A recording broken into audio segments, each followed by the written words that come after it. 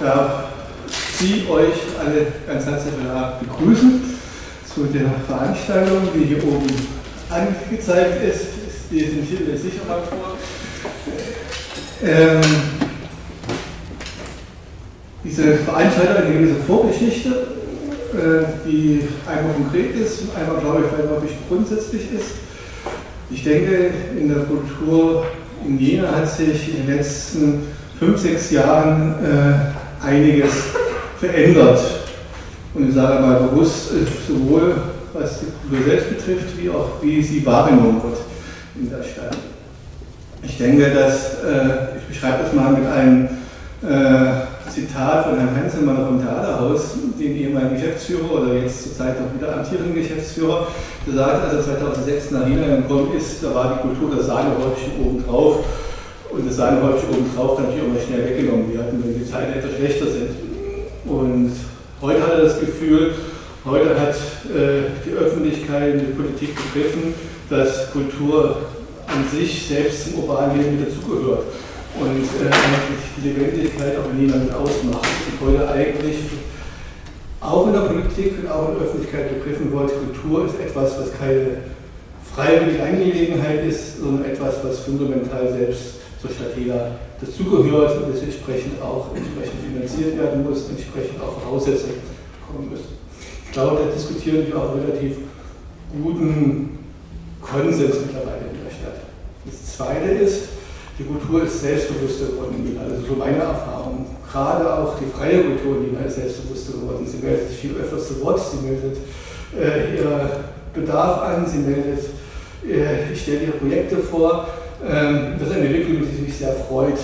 Als ich 2004 in den Kulturausschuss kam, musste ich oftmals ihr hinterherlaufen, den Kulturinitiativen, äh, um zu sagen, ja, wenn man für euch was tun möchte, brauchen wir auch eure Unterstützung. Heute muss man nicht hinterherlaufen, die gehen voran, die Kulturinitiativen, man kommt jetzt noch kaum noch hinterher manchmal. Und es gibt ganz viele neue Projekte, es gibt ganz viele Projekte, die sich auch äh, etabliert haben.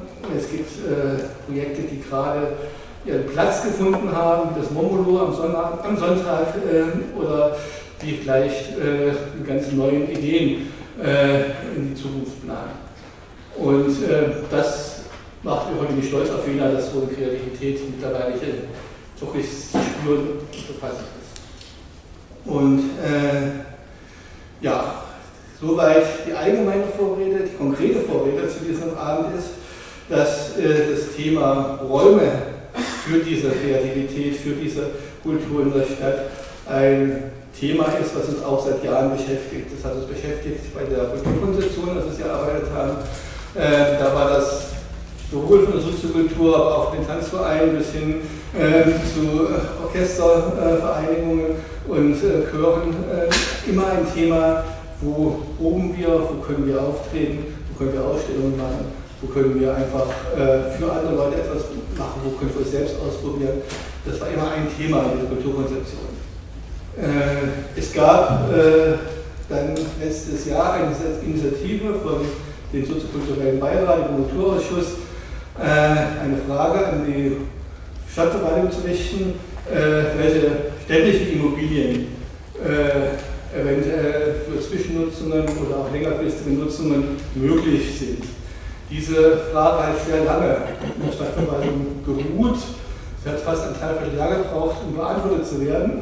Um das, die Beantwortung im Januar war dann eine sehr schulterzuckende Antwort, um das mal so auszudrücken fühlte sich zum Teil nicht zuständig, zum Teil hatte man auch keine Ideen. Also man konnte wenig äh, äh, entnehmen dieser Antwort.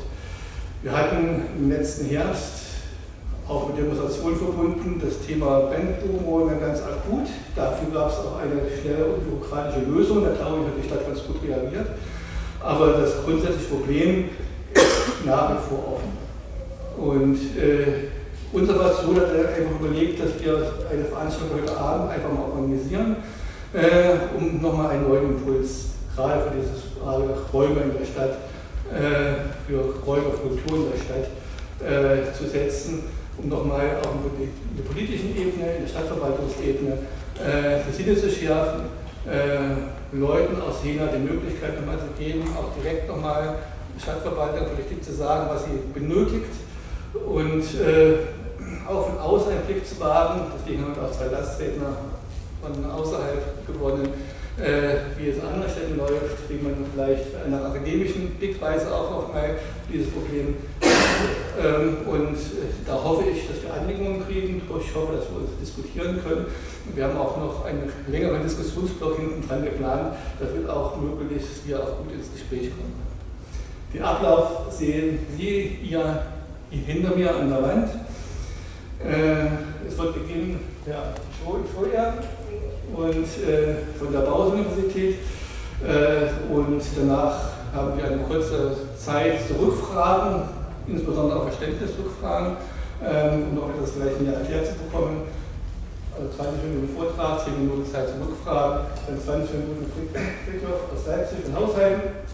Äh, ja, das Konzept des Rechterhauses, dort in Leipzig betreut, uns aber mehr auch noch zum Thema Zwischennutzung, wie kann man Vertrauen gewinnen zwischen Hausbesitzern und äh, Mietern und Nutzern, etwas sagen wird, brauchen wir dann die Möglichkeit rückzufragen.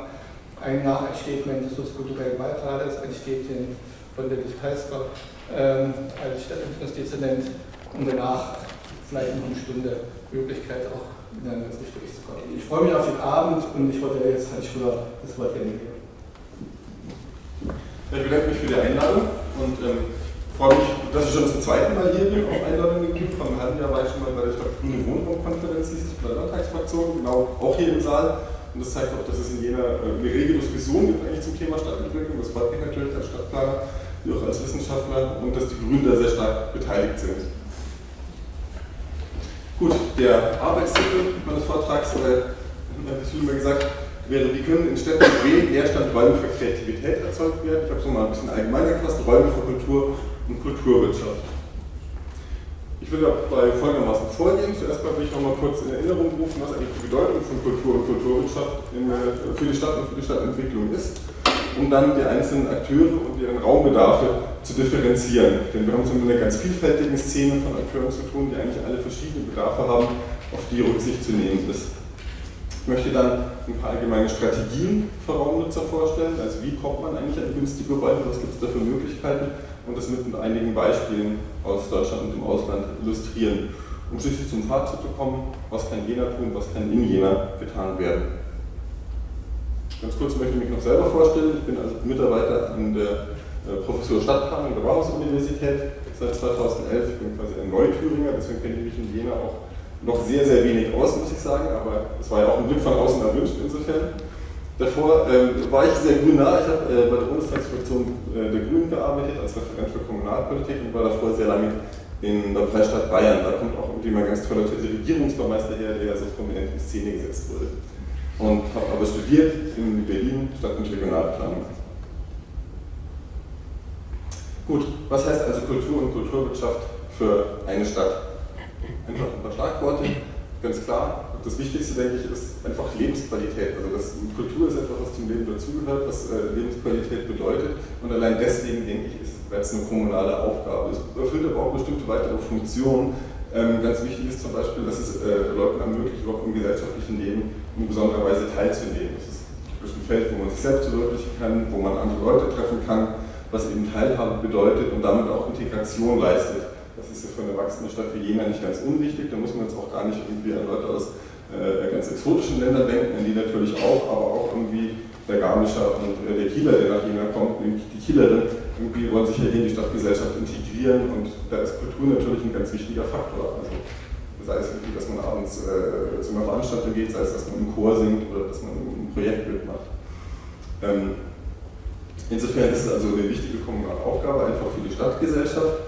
Äh, was man aber auch immer sagen kann, ist es natürlich auch ein Standortfaktor. Äh, ganz viele Leute denken dazu erstmal an das Thema Tourismus und das, das Image der Stadt, das ist auch ein wichtiger Punkt. Ähm, was aber gerade in Jena genauso wichtig ist, ist das Thema äh, Kreativwirtschaft. Ähm, gerade weil Jena ein großer Uni-Standort ist irgendwie und auch mit großen Firmen, die in Forschung und Entwicklung tätig sind. Kreativwirtschaft ist ja so ein, so ein Zauberwort der Stadtentwicklung in den letzten Jahren geworden, ähm, wo man drauf gepocht wird dass es da weniger eigentlich um, um ich sag mal, ähm, um so harte Standortfaktoren geht, sondern eher um so ein kreatives Milieu. Also Leute wollen praktisch irgendwie mit, mit, mit Gleichgesinnten einfach irgendwie in Kontakt kommen, irgendwie möchten diskutieren können, möchten sich treffen können. Also da geht es um die Schaffung eben so eines, eines Milieus von Kreativen und ähm, das ist in der Tat als, als ganz wichtiger Standortfaktor erkannt worden. Und das ist auch genau der Punkt, wo es dann weniger um die Hochkultur geht, also beim Thema Tourismus, vielleicht geht es eher um die Hochkultur irgendwie, staatliche Theater, Orchester und so weiter. Beim kreativen Milieu geht es eigentlich eher um so die, die Off-Szene und irgendwie viele kleine Initiativen. Also ich denke an die wirtschaftliche Bedeutung eben der Kulturwirtschaft und gerade auch der kleinen, äh, sagen wir mal, der, der Off-Szene ähm, lässt sich über diese Kreativwirtschaft ganz gut darstellen. Ich möchte jetzt also ein bisschen die Akteure und Bedarfe differenzieren. Diese Bildersammlung ist ganz einfach das, was man äh, an Bildern bekommt, äh, wenn man ähm, Jena und Kultur eingibt. Vielleicht kennt ihr auch den einen oder anderen Protagonisten. Man sieht, das ist alles dabei. Irgendwie ist äh, Hochkultur dabei, es ist irgendwie Offizieler dabei, es sind einzelne Akteure dabei, irgendwie sind Gruppen dabei, es sind Einzelne dabei. Also Altes und Neues. Sehr gemischt. Ähm, das war praktisch auch so in der Absprache äh, der, der, der Zuschnitt dieses Vortrags. Also es geht wirklich praktisch von der Theatergruppe bis zum bis zum Webdesigner alle, die irgendwie kreativ sind sich in der Stadt äh, kreativ und auch künstlerisch betätigen. Ähm, die meisten haben aber etwas gemeinsam, sie haben relativ geringe finanzielle Spielräume. Darum geht es ja auch gerade heute Abend. Wie kommen diese Leute und diese Gruppen trotzdem an Räume? Ähm, ich hatte schon gesagt, es geht eben um äh, einerseits um Einzelpersonen oder auch um Gruppen. Das wird bei den Raumbedarfen natürlich eine Rolle spielen. Die ganze Szene ist geprägt ähm, durch eine hohe Dynamik. Also da ist einfach viel Bewegung drin, irgendwie auch durch Kooperation. Man kennt sich irgendwie, macht immer wieder mal Projekte zusammen in neuen Zusammensetzungen. Das ist also wirklich eine Szene, die, die in sich sehr aktiv ist.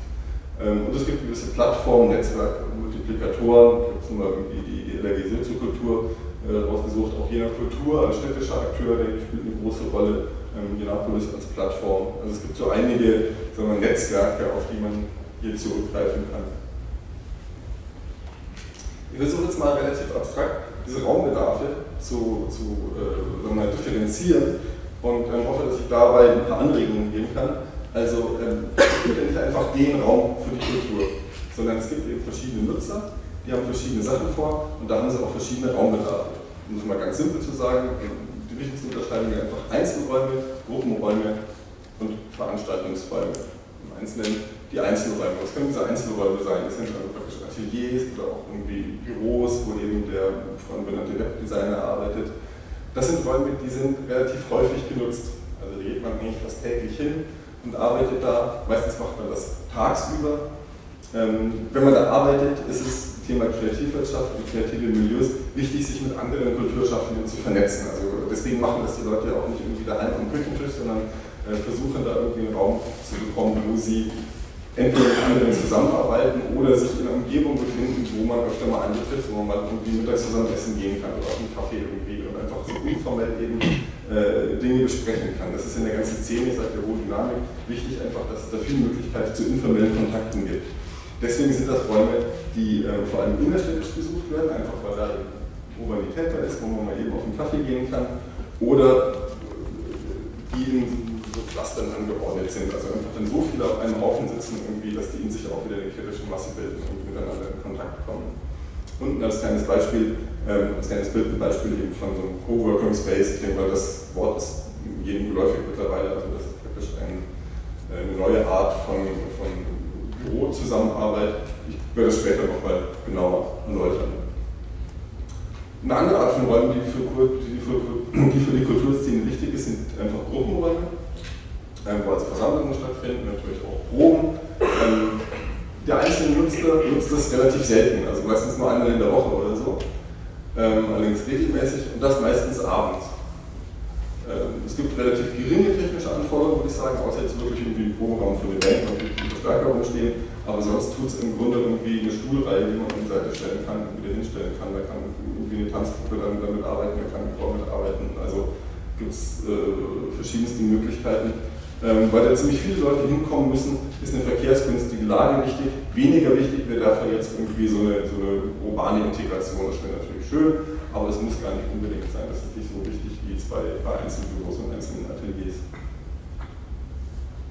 Veranstaltungsräume, das sind die Räume, wo dann die, die Show passiert. Also als Kulturschaffender präsentiert man ja immer wieder, also sei es jetzt Theateraufführung oder Chorkonzert oder wie auch immer. Ähm, das sind Räume, in denen diese Aufführungen stattfinden können, denen auch größere Versammlungen stattfinden können. Die sind eigentlich sehr selten genutzt, zumindest vom einzelnen Akteur, haben aber hohe technische Anforderungen. Also die sind recht, spezialisiert, diese Räume, da ist diese ganze Technik vorhanden. Und ähm, deswegen sind die auch auf eine gewisse Auslastung natürlich angewiesen. Ähm, auch die werden meistens abends benutzt und ähm, für mich ist es auch wichtig, dass sie eine gewisse Adresse bilden und eine gewisse Repräsentativität äh, besitzen. Das heißt nicht, dass es jetzt irgendwie äh, im alten Palais stattfinden muss irgendwie, sondern auch irgendwie äh, im Club kann ja irgendwie äh, praktisch repräsentativ sein für eine bestimmte Szene. Wichtig ist, dass man eben weiß, okay, das ist, das ist da und da, das ist eine Adresse.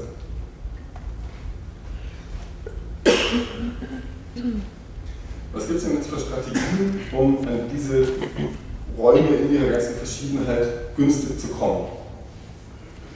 Ähm, Klar, das wäre natürlich irgendwie die einfach regulär zu bieten. Also ähm, Eigentum ist wahrscheinlich für die meisten Kulturschaffenden nicht das Thema. Man mietet dann ähm, entweder aus einem eigenen Budget oder mit Unterstützung. Das ist natürlich immer möglich, dass äh, irgendein Unterstützer, sei es die Stadt oder wer auch immer, da einen, einen Zuschuss aus der Strukturförderung gibt. Es gibt aber noch andere Möglichkeiten, die das Ganze vielleicht ein bisschen verbilligen können. Also äh, eine Möglichkeit, die auch schon mal angesprochen wurde, ist natürlich Umnutzung wird auf die einzelnen Punkte danach noch genauer eingehen. Eine andere ist Zwischennutzung, dann etwas, was man Pioniernutzung nennen kann, weil die einfach vorher gar nicht benutzt waren. Dann gibt es da Punkte, die mir sehr wichtig sind, eben die Mehrfachnutzung zusammen mit anderen Akteuren und die Wechselnutzung mit anderen Akteuren. Das sind jetzt irgendwie sehr viele Begriffe auf einmal, ich werde sie ähm, nach und nach mal erläutern.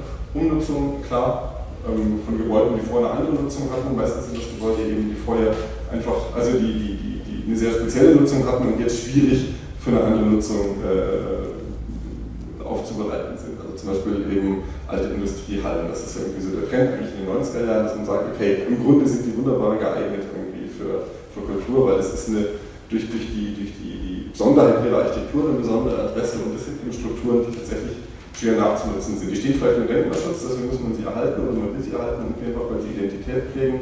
Es wäre aber schwierig, da irgendwie was anderes reinzukriegen. Insofern ist Kultur eigentlich, sei es als Probenraum oder Aufführungsraum oder so, eine sehr dankbare Nutzung dafür.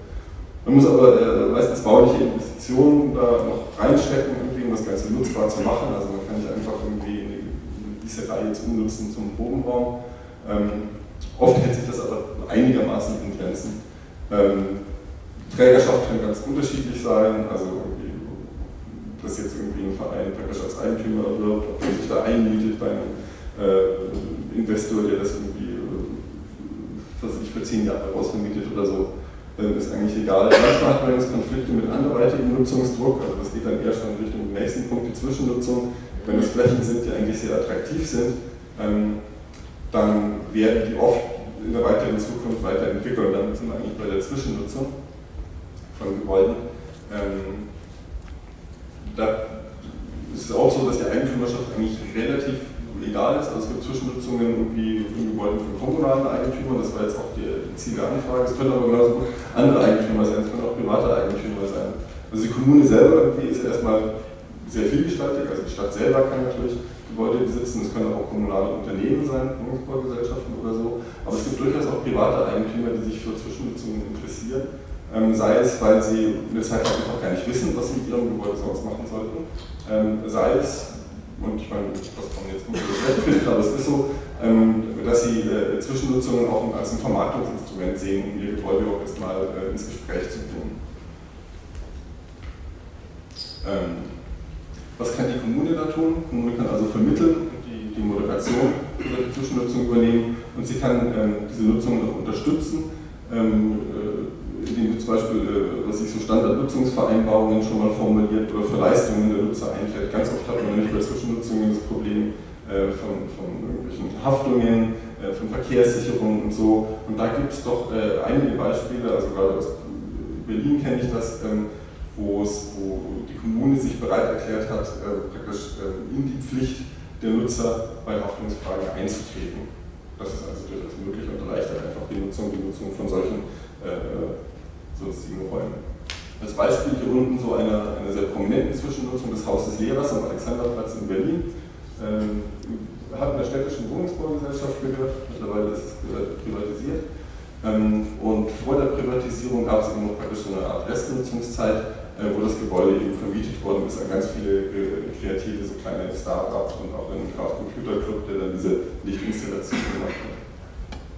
Einmal kurz zurück, um das Beispiel zu erläutern, ist vielleicht bekannt, das E-Werk in Weimar eben als Aufführungsort, wo getragen durch einen Verein, wo also auch ganz hochkarätige Institutionen beteiligt sind, wie das Deutsche Nationaltheater.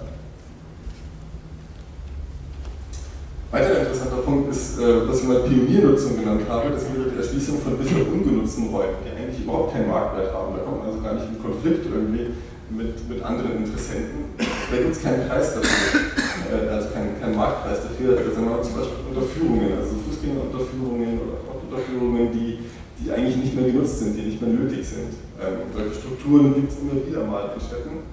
Ähm, Unten habe ich ein Beispiel aus Wien, das ist also wirklich entstanden auf einem Verkehrskreisel, der genutzt war, wo es eine sinnlose Fußgängerunterführung gab und wo man da einfach einen Club reingemacht hat.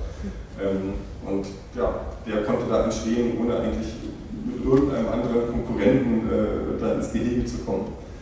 Äh, man muss natürlich baulich investieren, weil äh, eine Unterführung allein kann man, kann man noch nichts machen natürlich. Baurechtlich ist es oft ein bisschen schwierig.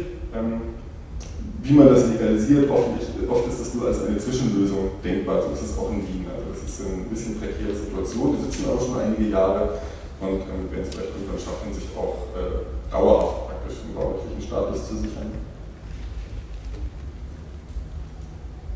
Weitere Möglichkeit ist eine Mehrfachnutzung. Mehrfachnutzung nenne ich etwas, wo ähm, verschiedene ähnlich geartete Nutzer sich einen gemeinsamen Raum, eine gemeinsame Infrastruktur teilen. Äh, prominentes Beispiel habe ich eben unten nochmal dargestellt, äh, so ein Coworking Space, also eben ein Raum, der meistens vom zentralen Akteur vermietet wird, auch einheitlich gemanagt wird und der das ähm, tageweise, manchmal nur stundenweise, auch wochenweise an, an verschiedenste Einzelpersonen und Gruppen vermietet. Also das, das ist unglaublich flexibel. Man kann dann wirklich irgendwie für Nachmittag einmieten, man kann sich irgendwie für drei Wochen einmieten ähm, hat einen Arbeitsplatz, hat die Möglichkeit, irgendwie gemeinsame Besprechungsräume zu nutzen irgendwie, und hat praktisch die ganze Infrastruktur, die, die man in dem Bereich eigentlich braucht, ohne dass man sich ein eigenes Büro wirklich leisten muss. Man, braucht, man mietet auch wirklich nur dann, wenn man vor Ort ist. Also gerade wenn man als Kulturschaffender vielleicht viel unterwegs ist oder so, vielleicht auch mal ab und zu mal die Stadt wechselt oder so, es keinen Sinn, sich da selber ein Büro zu mieten, dann ist sowas eigentlich eine sehr gute Möglichkeit. Und ähm, ein ganz wichtiger Aspekt bei diesen Coworking Spaces ist eben auch der Kontakt mit anderen Akteuren, der andauernd da ist. Also das ist eigentlich, glaube ich, der wichtigste Punkt, warum Leute in solche Coworking Spaces gehen, weil sie eben ähm, immer mit Gleichgesinnten zu tun haben, mit denen, mit denen gemeinsam Projekte äh, umsetzen, also initiieren können. Das andere habe ich mal genannt Wechselnutzung. Ähm, das sind äh, Räume, die im Grunde einen Hauptnutzer haben, der diesen Raum für sich belegt wo aber immer noch so Restzeiten bleiben, wo ein Nebennutzer eigentlich rein kann. Also ganzes, das, wird, das ist nichts Exotisches, das wird eigentlich oft schon täglich gemacht. Ganz alltägliches Beispiel ist eine Musikschule, die irgendwie äh, am Nachmittag in den Räumen einer, einer Grundschule Unterricht erteilt oder die Volkshochschule, die abends Kurse irgendwie in den Schulräumen erhält. Und ich denke mal, das ist ein Prinzip, was sich durchaus ausweiten lässt. Es gibt ganz viele Räume, auch in Jena, die zu, zu vielen bestimmten Zeiten und von manchen Leuten sogar sehr attraktiven Zeiten nicht oder, oder nur äh, sehr wenig genutzt sind.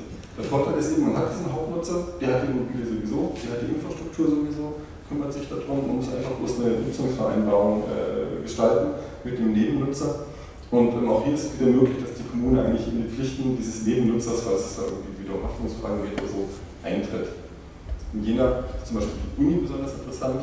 Ich habe noch ein paar Potenziale so der, von Hauptnutzern äh, zusammengestellt, die da in Frage kommen könnten. Also Jena, die Universität ganz wichtig, hat unglaublich viele Räume, ähm, die am Abend ähm, größtenteils leer stehen, die in den Semesterferien größtenteils leer stehen, irgendwie, wo im Grunde was getan werden kann. Schulen, klar, Kirchen ist auch irgendwie äh, ein entdecktes Potenzial äh, beiderseits, also auch die Kirche irgendwie kommt jetzt erst drauf, dass ähm, äh, sie mit ihren Räumen wirklich auch was anfangen könnte, auch um, um näher an die Menschen zu kommen. Es gibt das Konzept der sogenannten City-Kirchen, die so Aktivitäts- und Aktionskirchen sind. Also wenn man mit denen mal ins Gespräch kommt, irgendwie, dann merkt man plötzlich, okay, da könnte eigentlich ganz viel zusammenpassen. Ähm, auch jener Kultur als, als Kulturbetreiber hat ganz äh, relativ viele Räume, äh, so wie ich das weiß, die vielleicht auch nicht irgendwie immer komplett ausgelastet sind. Also vielleicht gibt es da in vielen Nutz, bei vielen Nutzern in Jena noch äh, Restzeiten, die äh, sich äh, temporär oder auch regelmäßig im Tonus nutzen ließen. Ein paar Beispiele würde ich dazu geben. Horst Leers habe ich Ihnen gerade schon erklärt. Ähm, in Wien, dieser Club, der ist nicht einfach so entstanden, sondern das finde ich sehr interessant. Da gibt es äh, innerhalb der Stadtverwaltung eine Stelle, die sich genau um sowas kümmert, schon von 1998. Das ist die einfach Mehrfachstelle, ähm, die ist extra dafür gegründet worden. Ist, ähm, sind äh, zwei, zwei Personen, die das, also zwei Frauen, die das für ganz Wien äh, machen und eben so Zwischen- und Mehrfachnutzungen organisieren und ähm, auch eine ganz wichtige Funktion haben, eigentlich so im, im Netzwerk der ganzen Kulturschaffenden. Also die sind im Grunde die, die, die angesprochen werden von Leuten aus dem Kulturbereich und die dann so sagen wir mal, durch die Verwaltung buxieren können. Das ist, denke ich, ihre Hauptaufgabe. Also die haben das Netzwerk nach draußen, also sitzen in der Verwaltung, haben das Netzwerk nach draußen und sind einfach die Ansprechpartner und, und können da praktisch Anliegen kanalisieren. Und die haben eben in diesem Bereich so Umnutzung, Nachnutzung, Zwischennutzung und so weiter einige interessante Projekte angestoßen, also eben diesen Club auf der Verkehrsinsel, ähm, im Jugendzentrum, in dem ehemaligen Heizungskeller, ähm, so die Wechselnutzung von Schulsportflächen und so. Also sind so mehrere Projekte, ähm, wo Flächen noch besser ausgenutzt wurden und gerade auch eben für eine kulturelle oder soziokulturelle Nutzung.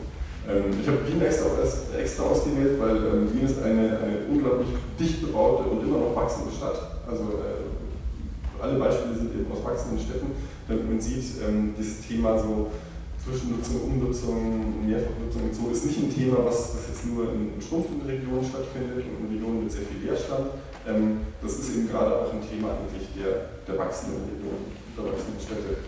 Und mit Hamburg. Hamburg ist ebenfalls eine wachsende Stadt, aber auch da gibt es eine sehr interessante Initiative, den Leerstandsmelder, der 2010 dort gestartet ist und jetzt mittlerweile schon deutschlandweit aktiv ist. Das ist einfach irgendwie eine, Plattform im Internet, wo man ähm, äh, Leerstände, die man bemerkt im Stadtraum, da muss man jetzt gar nicht Eigentümer sein oder irgendetwas melden kann. Ähm, und ähm, dann können praktisch andere Leute sich dafür interessieren, das sich mal ansehen irgendwie, können vielleicht auf Eigentümer zugehen. Das ist total simpel, also es gibt jetzt keine Vermittlung oder so, das ist nicht die Aufgabe des Leerstandsmelders, sondern es ist eine Webseite, wo Leute eintragen, wie Mensch, in der, Straße steht seit drei Monaten schon eine Videothek leer. Ähm, vielleicht gibt es ja irgendjemand, der da irgendwie für ein halbes Jahr irgendwie einziehen kann und da ein kleines Projekt aufziehen kann. Ähm, es ist auch in der wachsenden Stadt Hamburg irgendwie ein großes Thema. Also zuletzt habe ich da gesehen, 727 Einträge ähm, sind da drin, auch noch einige andere Städte in Deutschland. Jena gab noch gar keine Einträge. Also keiner aus Jena hat sich bisher für diesen Leerstandsmelder offensichtlich interessiert, obwohl es vielleicht ein interessantes Instrument wäre, um auf Räume zu kommen. Beispiel aus Jena jetzt aber, Kombinat Süd, das ist denke ich auch den meisten bekannt eben. Das ist so ein Beispiel eines Coworking Spaces 2012, das ist ja erst eröffnet, ähm, getragen durch einen Verein aus Kreativwirtschaft und Lokalpolitik. Und ähm, ganz interessant auch in der Kombination praktisch mit einer, einer Beratung für, für Gründer und ähm, in einem Netzwerk zusammen mit Wirtschaft und Hochschulen. Also interessantes Projekt, ist auch nicht der einzige Coworking Space, es gibt glaube ich zwei oder drei mindestens schon in Jena. Beispiel aus München, bekanntermaßen auch keine Stadt mit großen Leerständen, wo es aber doch immer wieder so eben durch, durch sagen wir mal, Nutzungsänderungen äh, Flächen gab. Ähm, zum Beispiel Kasernen war ein ganz großes Thema in, in München in den letzten äh, 20 Jahren, eigentlich in den 90er Jahren und das ist ein Beispiel eben eines Kasernengeländes im Münchner Norden, ähm, wo äh, den Zahlen nach tatsächlich die größte Künstlerkolonie Europas entstanden ist an einem Fleck. Also 250 Künstler haben da in den 90er Jahren auf einem Fleck gearbeitet und gewertet ähm, und haben das als Zwischen- oder sagen wir mal nicht Restnutzung betrieben, denn es war klar, irgendwann passiert mit der Fläche etwas anderes. Ähm, die meisten Hallen sind mittlerweile auch abgerissen, dann steht jetzt was Neues. Die Stadt hat aber immerhin sich durchringen können, ähm, zwei Gebäude zu behalten und die weiteren weiterhin durch äh, diese GmbH, die da extra gegründet worden ist, zu vermieten an die Künstler. Gut, was kann in dem Bereich jetzt also Jena tun? Was kann denn die Stadt tun? Die Stadt ähm, hat ja eigentlich immer verschiedene Rollen. Die, ja, die kann ganz verschieden agieren. Ähm, als Eigentümer äh, ist sie natürlich am besten Hebel. Also das war ja auch äh, Teil der Anfrage, die du schon äh, benannt hast. Ähm, als Eigentümer kann sie praktisch vermieten, sie kann Umnutzungen, Möglichkeiten, Zwischennutzung, Wechselnutzung und so weiter Die Stadt kann auch fördern, sie kann Zuschüsse geben und damit zum Beispiel eben äh, die, die, die teurer werdenden Mieten ein bisschen auffangen für die Kulturschaffenden. Kann man sich darüber streiten, ob das das, ähm, das, am sinnvollsten angelegte Geld ist oder nicht, aber das, die Möglichkeit besteht natürlich. Die Stadt handelt auch als Behörde, also einfach hoheitlich. Ähm, da muss ich sagen, sehe ich relativ wenig äh, Möglichkeiten, wie eine Stadt da tätig werden kann, denn ähm, sie kann sich andere Eigentümer zwingen, irgendwie Kulturschaffende bei sich unterzubringen. Das ist rechtlich eigentlich nicht möglich. Man könnte allerdings, so dass ich bei bestimmten Projekten städtebauliche Verträge äh, schließen. Also das wäre jetzt eigentlich ein weites Feld, um darauf einzugehen.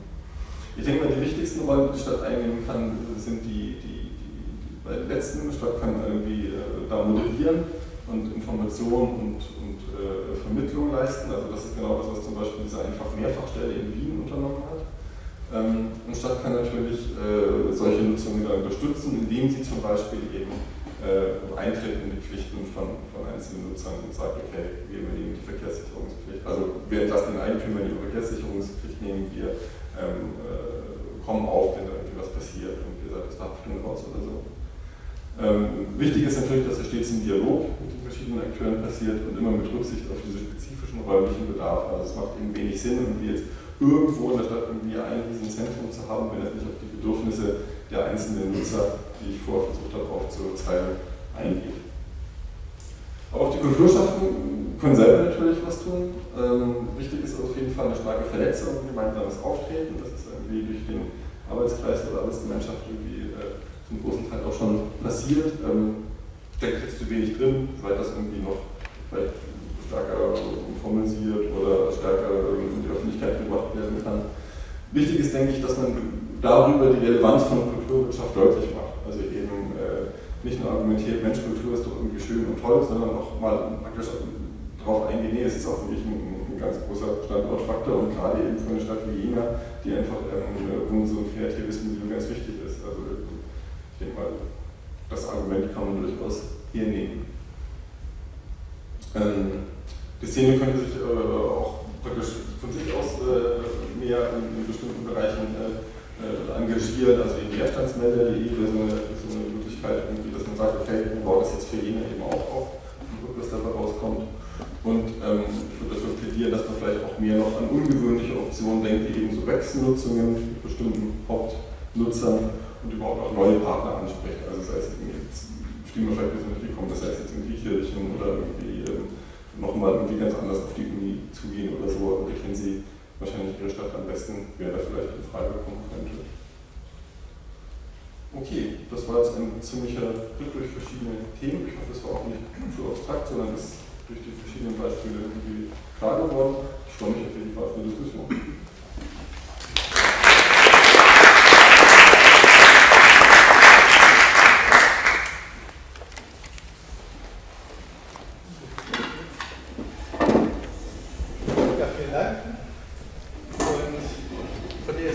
Gelegenheit geben für so eine zehnminütige Rückfragerunde, wenn man sich bestimmtes Detail noch mal genauer erläutern lassen möchte oder es auch nicht verstanden hat.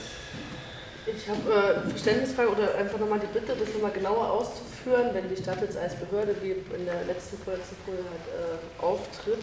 Äh, was, was meint es mit städtebaulichen Verträgen, mit irgendwelchen anderen privaten Nutz, also Vermietern und man nutzt es dann, also was, was ist damit jetzt? Also städtebauliche Verträge ist eben so ein baurechtliches Instrument, das kommt normalerweise dann zum Einsatz, wenn irgendwo was neu gebaut wird oder umgebaut wird, wenn es einfach ein größeres Vorhaben ist. Und wenn das irgendwie ein, ein, ein großer Investor ist, dann kann man da normalerweise mit dem einen städtebaulichen, sogenannten städtebaulichen Vertrag schließen. Das ist so ein bisschen das Deal irgendwie, du kriegst das Baurecht und ähm, nicht alle Stadt kriegt noch ein bisschen was anderes dafür. Also jetzt ein, ein Beispiel, ohne dass ich das besonders toll finde, aber das illustriert ist, ähm, ist in Berlin oft, dass da ein Einkaufszentrum gebaut wird und im Einkaufszentrum sind dann gleichzeitig die Räume für die Stadtbibliothek oder so. Also auf dem, auf dem, dem Stil läuft das dann. Das ist aber eben ein Instrument, was wirklich für große neue Entwicklungen äh, äh, am geeignetsten ist. Ähm, könnte man sich überlegen, ob man das hier anwenden will, wenn irgendwie was Großes äh, ansteht und ob man sich praktisch diesen Deal anlässt mit ja, Einkaufszentrenentwicklern oder so können auch andere große Entwickler sein, aber das, das ist so eine der Möglichkeiten. Mhm. Dankeschön. Gut, hier noch keine weiteren Rückmeldungen. Wir werden nachher noch Diskussionsrunde haben, wo man auch, glaube ich, auch mehr auch bewerten kann und entwickeln kann. Da wollte jetzt Friedhof Muttes Mikrofon. Ja, ich möchte mich auch kurz vorstellen. Mein Name ist Friedrich Muth, ich komme aus Leipzig und bin Mitgründer von Haushalten e.V. Äh, wir haben uns 2004 als ehrenamtlich arbeitende Verein gegründet, äh, aber das ist Ehrenamt. Freizeit quasi im äh, eigentlichen Leben habe ich auch an der TU Berlin Stadt- und Regionalplanung studiert und betreibe in Leipzig ein äh, Planungsbüro. Und äh, wir haben diese, jetzt muss ich mal schauen, mit den Weiterklickern, ähm, möchte ganz kurz sagen, äh, was ich, von was ich berichten will. Weil die Frage steht natürlich, äh, Leipzig war das nicht die Stadt, mit diesem riesengroßen Leerstand, 60.000 Wohn leere Wohnungen hatten wir mal nach wie vor. Es war mal Boomtown und dann auf einmal dieses Loch. Aber Leipzig wächst auch, vielleicht nicht ganz so wie Jena, aber per, bezogen auf die Einwohner sind wir die am schnellsten wachsende Stadt in Deutschland im Moment nach München. Das glaubt man nicht, aber wir haben allein im letzten Jahr 10.000 neue Einwohner gewonnen. Das heißt, wir haben eine Gleichzeitigkeit in Leipzig von Leerstand und aber auch schon gewissen äh, Tendenzen, äh, dass es eine Auffüllung gibt, die ähnlich vielleicht ist wie hier in Jena. Insofern ähm, kennen wir die Probleme auch. Und wir haben äh, eigentlich Antworten gesucht für das Thema der Zwischennutzung aus dieser äh, prekären Situation des Leerstands heraus und vor allem dem Verlust der Tote von Denkmalbausubstanz. Und deswegen haben wir 2004 nach einer Idee, die aus eigentlich einer Planung heraus entstanden ist, die wir als Büro auch betreut haben, nämlich wie kann man leerstehende und vom Abriss bedrohte Gebäude retten,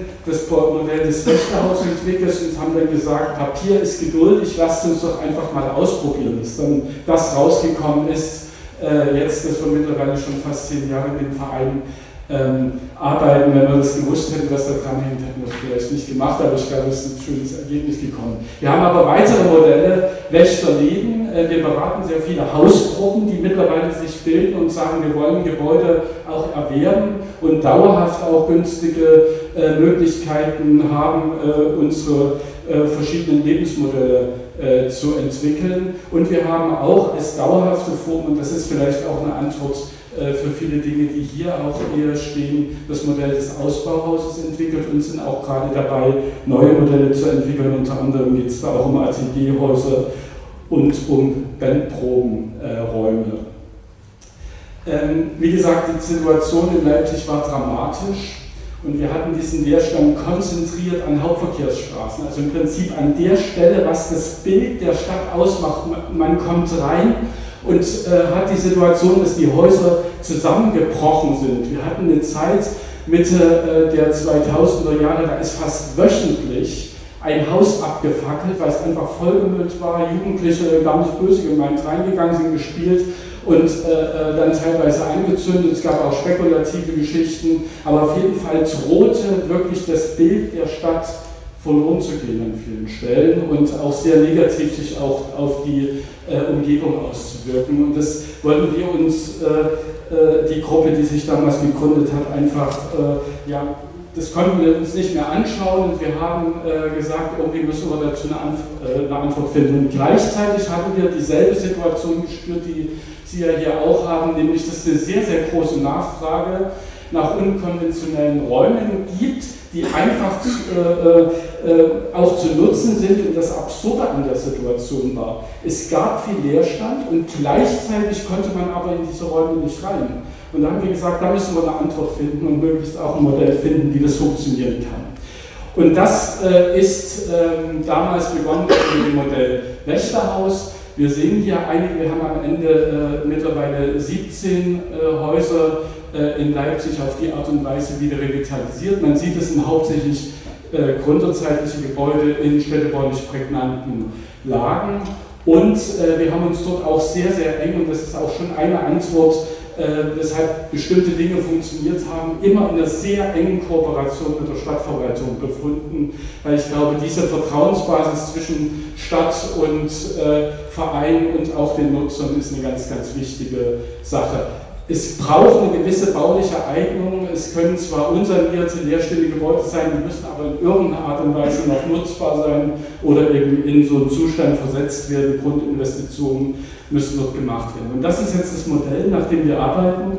Wir haben auf der einen Seite Eigentümer, oft eben auch verzweifelte Eigentümer, die nicht mehr wissen, was sie mit dem Eigentum machen sollen, ganz eigene Interessen und Probleme haben, die man auch ernst nehmen muss und auf der anderen Seite eine Nutzerschaft, die sehr, sehr, sehr bunt gemischt ist und die beiden kommen nicht zusammen. Die sprechen unterschiedliche Sprachen, die haben unterschiedliche Interessen und das werden Sie vielleicht auch selber die Erfahrung gemacht haben, man sitzt zusammen und merkt irgendwie, nee, den kann ich nicht. Und äh, oft auch aus Eigentümersicht, wir haben ja die Situation sicherlich auch hier in Jena, ähm, dass viele, viele Gebäude von Eigentümern besessen werden, die teilweise noch nicht mal groß da waren, ein, zwei Mal, als das Haus in den 90er Jahren für viel zu viel Geld gekauft haben und dann einfach den Mut verloren haben, weil sie teilweise auch mächtig Verlust mit den Gebäuden gemacht haben oder absolut unklare Eigentümer, äh, Eigentumsstrukturen, verstrittene Erbengemeinschaften und wenn man selber mit seinem Haus nicht klarkommt, vielleicht nicht genug Geld hat und dann auch noch mit einer etwas äh, erstmal auf den ersten Blick für den Eigentümer aus den Augen des Eigentümers chaotische Nutzerschaft, die als Gruppe, die noch nicht richtig organisiert ist, kommt, das passt nicht zusammen. Deswegen haben wir gesagt, wir brauchen diesen Übersetzer, denjenigen, der dazwischen steht, die Verhandlungen führt und irgendwo Vertrauensperson für beide Seiten ist. Und dort haben wir den Verein gegründet und äh, mit den Aufgaben der Akquise, der Vertragsverhandlung, Nutzerakquise dann auch und Betreuung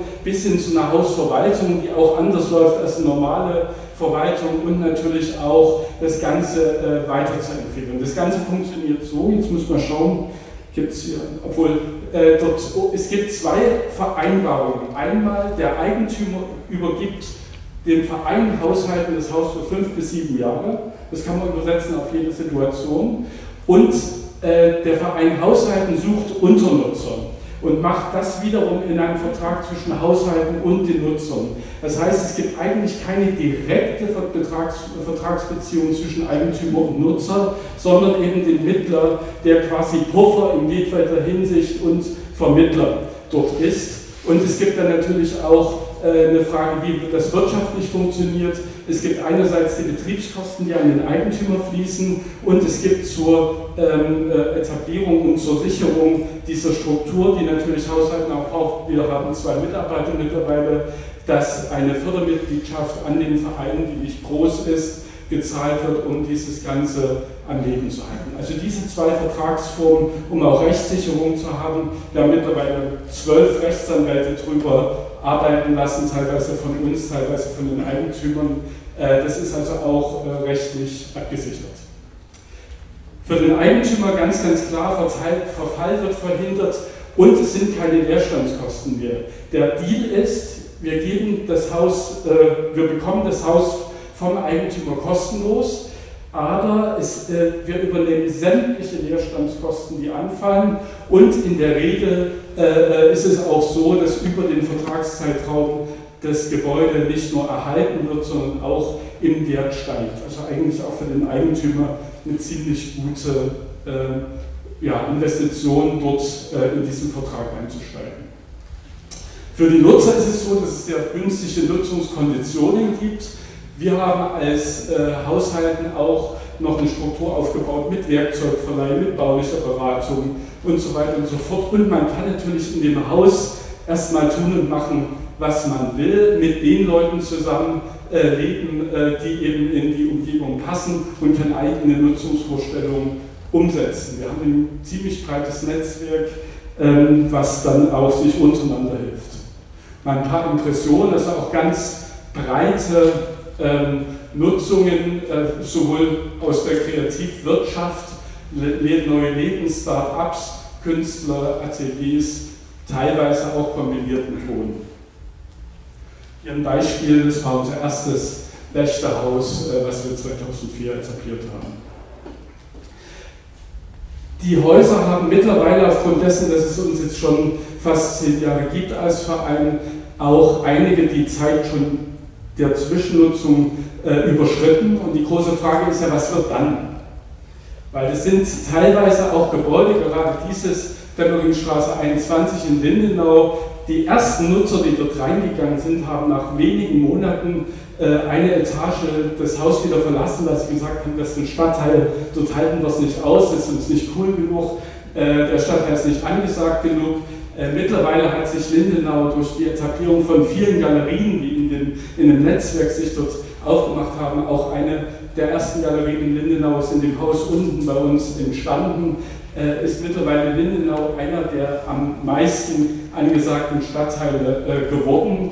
Und äh, dann ist natürlich die Frage, was heißt das? Kommen jetzt Fragen, die in Leipzig auch immer mehr diskutiert werden, wie Gentrifizierung ins Spiel? Und dort versuchen wir auch über die Vertragslaufzeit ganz verschiedene Modelle hinzubekommen, um auch dauerhaft eine günstige Miete hinzubekommen. Hier zum Beispiel wurden äh, die Mietverträge in ganz normale Mietverträge umgewandelt mit auch einer äh, günstigen, dauerhaft abgesicherten Miete die natürlich aber höher ist als nichts.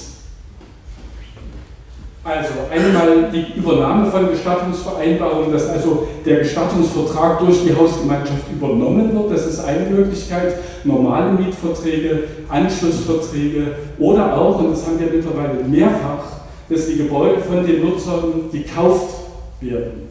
Wir haben also Leute, die haben, wir haben zum Beispiel einen Laden, der äh, verkauft indische äh, äh, Klamotten und auch Räucherstäbchen und was weiß ich nicht alles. Der wollte eigentlich nur einen Versandhandel machen. Und wir haben gesagt, wir haben hier einen schönen Laden, willst du nicht einen Laden aufmachen?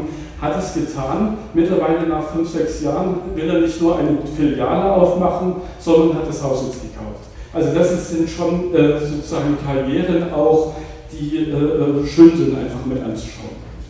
Wächterleben ist die Idee, äh, wenn das ganze Haus nicht zur Verfügung steht, sondern man erstmal nur beginnen will, die Ladenflächen zu revitalisieren, dort also die äh, lebende Zwischennutzung zuzuführen, sowohl als normale Vermietung zu günstigen Konditionen, übergangsweise als Zwischennutzung oder auch nur als Präsentationsfläche, um äh, mit, mit temporären Galerien in einer Straße, wo vorher alles zugeklebt war, oder zumindest eine Verbesserung herzustellen. Beispiel auch wieder Fundbüro in der Georg-Schwarz-Straße im Leipziger Westen. Beratung von Hausgruppen spielt eine ganz, ganz große Rolle in letzter Zeit.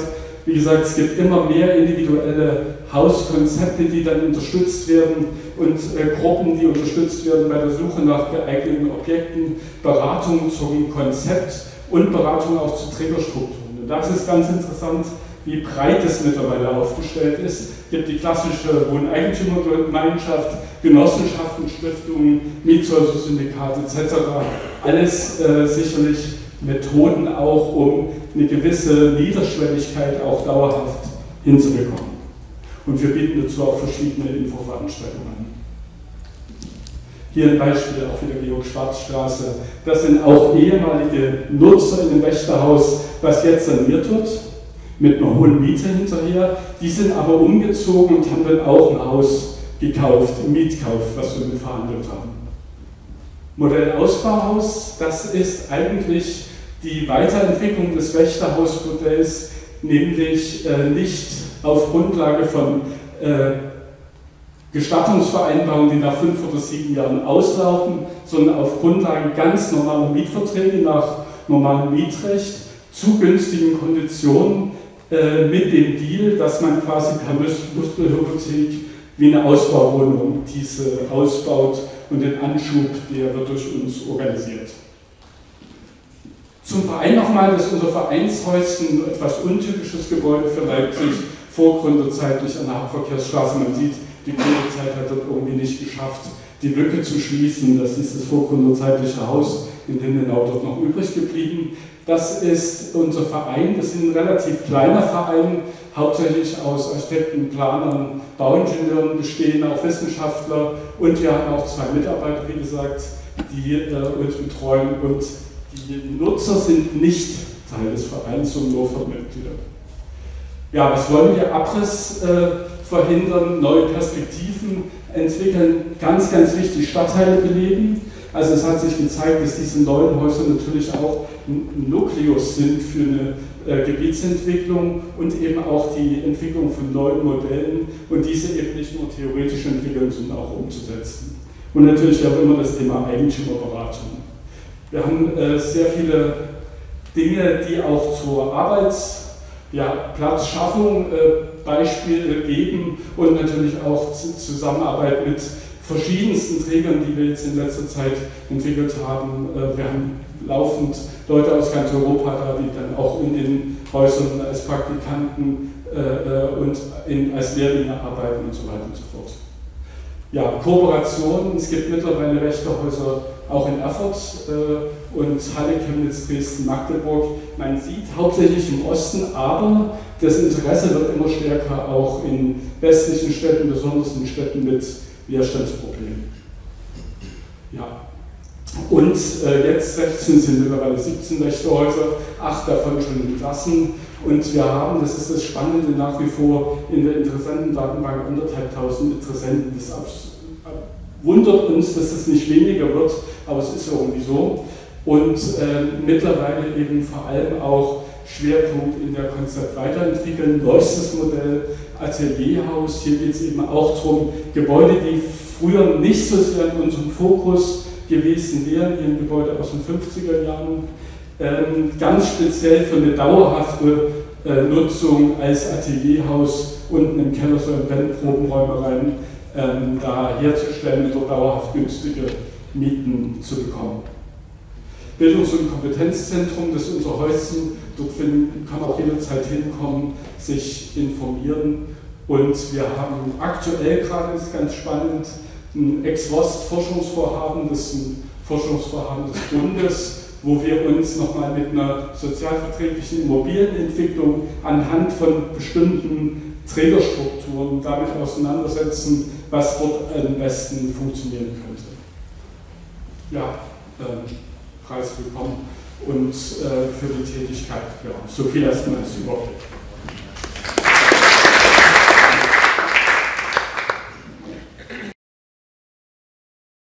Und ich würde jetzt wieder die Runde freigeben für Nachfragen und für Stehensfragen und für mehr Erklärungsbedarf zu einzelnen Punkten. Vielleicht eine kleine Nachfrage, inwieweit, äh, was bekommt ihr für Feedback von der Stadt Leipzig für ihr Engagement und wie das jetzt ist und wie das war, als Sie begonnen haben mit Ihrer Initiative. Also jetzt ist es wirklich so, dass wir eine ausgesprochen vertrauensvolle Zusammenarbeit haben, und zwar von der Sachbearbeiterebene bis zum Baubürgermeister.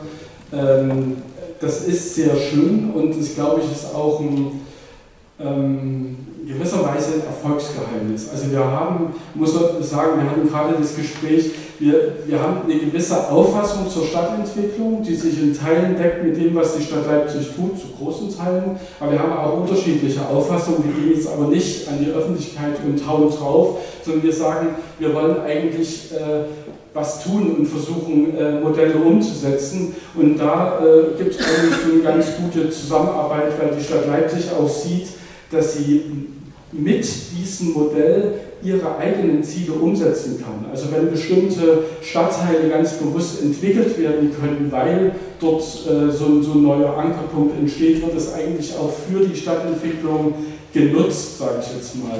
Das ist ein durchaus zweischneidiges Schwert, gerade vor dem Thema und Hintergrund der Debatte, die eben immer stärker wird um steigende Mieten, ist man nicht als Pionier in bestimmten Stadtteilen selber Treiber auch einer bestimmten Entwicklung. Das kann man so und so äh, diskutieren. Aber da gibt es eine sehr, sehr äh, gute Zusammenarbeit. Aber, jetzt komme ich zum Aber.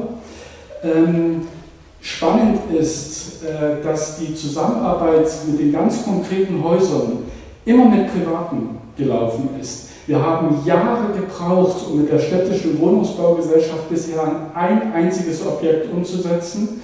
Und wir sind jetzt gerade dabei, mit dem Liegenschaftsamt der Stadt Leipzig auch unser erstes Projekt äh, zusammen zu machen. Das heißt, es gibt, äh, ist aber auch leicht verständlich, wenn man die äh, vorrangigen Interessen, die Verwaltung tickt ja auch nicht in eine Richtung, nur so sehr unterschiedlich.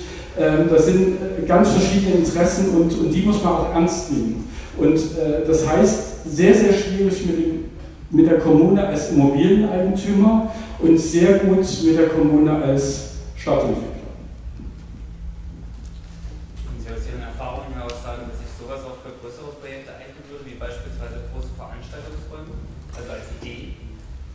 Äh, grundsätzlich ja. Da muss ich äh, auch noch was sagen zur Rolle der Kommune, weil ja, es war ja gerade gesagt äh, worden, wo die Kommune helfen kann. Sie kann auch helfen, das hat auch ganz, ganz viel mit Vertrauen zu tun, äh, bei der, ähm, ich sage mal, es gibt ja viele bauordnungsrechtliche Fragen, die zu klären sind. Und die kann man sehr streng auslegen. Man kann aber auch äh, äh zulassen, dass mal äh, 300 Leute, was wir hatten ganz konkret, auf dem Gehweg sitzen bei einer Veranstaltung, die als Abendveranstaltung mal angelegt war, auch bis in die frühen Morgenstunden geht. Das ist, äh, wenn es eine Ausnahme ist und man weiß, dass man mit einem Partner zu tun hat, der da schon ein Auge drauf hat, dass es nicht überhand nimmt, das ist ein ganz, ganz diffiziles Spiel. Also das heißt, man kann das für große Dinge machen, dort steigen, aber wir hatten ja gerade gehört, wie hoch die Anforderungen auch an Veranstaltungsräume gibt. Da geht es sofort um Fluchtwege, da geht es sofort äh, um gewisse Sicherheits- und bauordnungsrechtliche Fragen. Da ist natürlich eine Kommune und das Bauordnungsamt oder wie auch immer das hier heißt, natürlich auch in der Pflicht, da auf gewisse Sicherheiten zu achten. Aber die, die, die Botschaft von meiner Seite an Kommunen ist, habt Vertrauen und an, die, an diejenigen, die es tun, bitte versetzt euch auch immer in die Lage des anderen, in demjenigen, der die Genehmigung gegeben hat und auch in die äh, Rolle des Eigentümers. Also dieses, dieses Umswitchen im Kopf, was denkt der andere, warum tickt der andere so, ist ganz wichtig und das ist auch gerade bei großen Veranstaltungen so. Noch, noch eine Nachfrage ja Vermieter sozusagen ein Unternehmen damit einzubeziehen, was vielleicht irgendwo im Leerstand hat? Ein Unternehmen? Ein Unternehmen, was eine große Halle hat, beispielsweise jetzt mitten in Jena, was ja. einen Leerstand hat, weil es nicht eine Überproduktion nicht mehr vorhanden ist. Mhm. Also ich denke, es, müssen sich halt Partner auf, auf einer Augenhöhe finden. Das setzt voraus, wenn ich, wenn ich jetzt, äh, äh, wir hatten gerade heute eine, eine, Kaufverhandlung, wo wir einen Eigentümer mit den äh, Leipziger Verkehrsbetrieben zusammengebracht haben, jemanden, der ein Haus kaufen will und ein Projekt mit uns gemeinsam machen will. Der hat das Haus deshalb gekriegt, weil wir dabei gewesen sind und äh, die uns kannten und wenn der von denen kommt, wird es schon irgendwie gut gehen. Also das heißt, äh, ich denke, das geht aber man muss immer irgendwie eine, eine, Gruppe haben, die vertrauenswürdig erscheint, das Ding aufzuwuppen. Das ist unsere Erfahrung. Dr. Franz? Also, ich hätte gerne eine Frage zur Finanzierung. Und zwar, Sie hatten ja ganz deutlich gesagt, äh, dass die Eigentümer, meistens private, ähm, also die Leerstandskosten nicht tragen wollen und dann sind, wenn sie jemanden finden, der sich für das Gebäude interessiert. Ähm, und Sie übernehmen das dann, auch die Vermittlung und so wie ich das verstanden habe. Das ist ja alles ganz interessant, aber die Gebäude, das hatten Sie auch gesagt, sind meistens in einem desolaten Zustand. Also die kann man so erstmal nicht nutzen. Das heißt, um überhaupt, sage ich mal, die primitivsten Möglichkeiten zu schaffen, Wasser, Strom, Heizung, sage ich nur, muss irgendwas investiert werden. Mhm. Denn das muss ja anliegen. Denn wenn da Büros sind und es soll was stattfinden, dann soll es ja nicht kalt sein, ohne Wasser, ohne Toiletten und so weiter. Also ich sage mal so, eine ganz eine minimale Anforderung muss garantiert sein. Das kostet Geld. Das wissen wir auch aus eigener Erfahrung. Das kostet Geld. Weil wir haben ja vor vielen Jahren mal eine Zwischennutzung im Volksbad gehabt. Ich bin also von Jena Kultur, das hatten Sie ja vorhin schon ein paar Mal genannt. Und ähm, da waren die, die, die Anschlusskosten der Medien nur das war nur zwei Jahre leer gestanden, das Volkswagen. Hat schon 100.000 Euro gekostet. Da frage ich mich, wo kommt das Geld her, was Sie brauchen, um diese Gebäude in einen Zustand zu versetzen, dass man sie überhaupt, sag ich mal, nutzen kann und man nicht, sag ich mal, in einer arbeitet. Genau der richtige Punkt. Das ist die Frage, die jeder Eigentümer erst stellt, logischerweise. Und äh, deswegen haben, hat sich bei uns herausgestellt, wir sitzen ganz, ganz lange zusammen, verhandeln ganz lange und gehen diese einzelnen Punkte durch, machen Hausbegehungen. Deswegen sind bei uns im Verein so viele Bausachverständige, weil sich auch daraus so eine Erfahrung ergibt, was kostet ein Hausanschluss. Das ist auch ein kommunaler Wasserbetrieb hat äh, Anschlusskosten für uns, unseren kommunalen Wohnungsbaubetrieb. Das war ein ganz wichtiger Grund, weshalb wir nicht zusammengekommen sind, weil die als ersten Punkt, um Kosten zu senken, erstmal überall die Hausanschlüsse getrennt haben. Die wieder in Betrieb zu nehmen, sind irre Kosten. Und das muss sich über eine gewisse Amortisationszeit auch rechnen. Das heißt, mittlerweile sind wir, auch weil sich die Situation geändert hat, die Nachfrage so hoch ist, dabei, dass auch Wächterhäuser nicht mehr nur die Nebenkosten bringen, sondern auch eine kleine Miete haben, weil sich gezeigt hat, dass bestimmte Dinge auch finanziert werden müssen. Das heißt, eine Anfangs-Mindestinvestition muss der Eigentümer auch tragen. Bei uns ist das äh, ein Wasseranschluss und ein Elektrohauptanschluss pro Etage. Für die äh, Weiterleitung in den Wohnungen zum Beispiel sind die Mieter zuständig. Manchmal bringen die Mieter auch den Ofen selber mit. Das wird ganz individuell verhandelt und man muss dann einfach auch schauen, äh, dass man äh, diese Anfangsinvestition über die Gesamtlaufzeit, dass das dann eine schwarze Null gibt. Am Ende ist es aber so, das kann ich Ihnen sagen, hat der Eigentümer in allen Fällen Gewinn gemacht durch die Steigerung des Wertes des Hauses, dass kein Vandalismus mehr passiert ist, aber auch ganz nüchtern betrachtet gucken wir auf die schwarze Null. Aber mehr kommt in der Regel nicht raus. Aber Am Ende kam es ja ein bisschen rüber, die gesamte Initiative, die Bewegung kam aus, dem, aus der Lage heraus, dass es Leerstand gab oder es auch nicht genutzt werden konnte.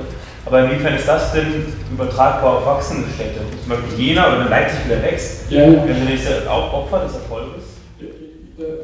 Ja und nein. Also Opfer des Erfolges, wir haben am Anfang gesagt, wenn es uns nicht mehr geben muss, ist es toll. Wir haben, in, äh, wir haben jetzt vor 14 Tagen gerade, gerade Klausur gehabt und genau über diese Frage gesprochen. Leipzig wächst wieder, die meisten Gebäude sind gesichert, braucht es uns eigentlich noch oder können wir uns nicht auflösen. Haben aber gesagt, dass wir mit diesen, äh, mit diesen Modellen, die wir entwickelt haben, eigentlich auch eine Infrastruktur und eine Erfahrung gesammelt haben und Vertrauen aufgebaut haben, dass wir jetzt solche Projekte wie das Atelierhaus angehen, wo wir sagen, die Ziele sind heute andere. Die Ziele sind ungefähr die ähnliche, die Sie hier haben, nämlich Räume aufzuschließen. Und wir kommen weg vom Hauserhaltungs- zum Raumgeberverein. Und äh, ich glaube, äh, diese Wandlung machen wir gerade. Die ist nicht ganz un unumstritten, weil manche sind in den Verein eingetreten und haben gesagt, wir wollen die Gründerzeitbausubstanz äh, halten. Das andere interessiert uns jetzt nicht so stark. Ich übertreibe jetzt mal ein bisschen schnittartig, aber das ist genau, genau so. Es wandelt sich gerade absolut. Also insofern denke ich, das soll jetzt auch nicht, das haben wir auch immer gesagt, es geht nicht darum, hier zu sagen, das ist eine 1 zu 1 Lösung, die für hier richtig ist. Es muss immer wieder übersetzt werden. Ich glaube aber, dass man mit diesen Modellen, auch die Verträge, die wir ausgearbeitet haben, die wir auch gern zur Verfügung stellen in der Kooperation, äh, rechtssichere Instrumente geschaffen haben, die für andere Situationen, wenn zum Beispiel ein kommunaler, was weiß ich, Betrieb ein, ein leerstehendes Industriegebäude jetzt gibt, kann man auf diese rechtlichen Grundlagen zurückgreifen, die funktionieren in der und der Situation. Gut, vielen Dank. Ich möchte die Pause, muss jetzt keiner mehr äh, um zum nächsten Punkt zu gehen. Äh, das war die Anregung. Ähm, wir haben einen Beirat eingeladen, den kulturellen Beirat eingeladen, den es jetzt seit diesem Jahr gibt. Und äh, wo sich auch dahinter ja einerseits die Genusskultur steht, hier also Sprecher der Vereine ist und der anderen Seite ja auch die Politiker mit drin sitzen, soll eine Art Moderationsgremium auch sein. Und da haben wir eingeladen und Stefan Kahl, also Schubert. Ja, schönen Abend. Äh, wir bedanken uns natürlich auch recht herzlich für die Einladung und äh, möchten vorab nochmal die Gelegenheit nutzen, den jungen Beirat Soziokultur nochmal kurz vorzustellen. Ja, und das, das werde ich jetzt mal äh, kurz erläutern. Also der Beirat Soziokultur versteht, versteht sich als ein fachliches Organ zur Unterstützung äh, des Kultur- und Jugendhilfeausschusses. Er dient als Ansprechpartner für die verschiedenen Akteure im Bereich der Soziokultur und agiert als Mittler zwischen der freien Kunstszene, der Politik und der Verwaltung. Und auf Grundlage seines basisorientierten Expertenwissens verfolgt der Beirat das Ziel, das soziokulturelle Angebot ganz jenes zu vernetzen, Synergien zu nutzen und auf hohem qualitativen Niveau zu sichern. So, und Stefan jetzt weitermachen. Ja, ich will nur der Bogen entfernen. Ist das noch da? Oh. Geht das? Versteht man es noch? Ist ein bisschen gekommen. Ja, ähm, ja, jenes Wohnmobil, fast schon ein Dauerbrenner-Thema eigentlich. Ne? Und ähm, ist ja in letzter Zeit schon oft und breit diskutiert worden. Deswegen ist es schwierig, natürlich mit Worten Gehör zu finden, die einfach schon ziemlich oft gesagt worden sind. Trotzdem möchten wir an der Stelle die Gelegenheit nutzen, um ähm, auf eine Grund oder einige grundlegende Probleme, Lösungsansätze und ähm, äh, ja, und auch auf einige Leerstände aufmerksam zu machen. Aber zunächst erstmal zwei positive Fakten. Jener ist jung und jener ist schön.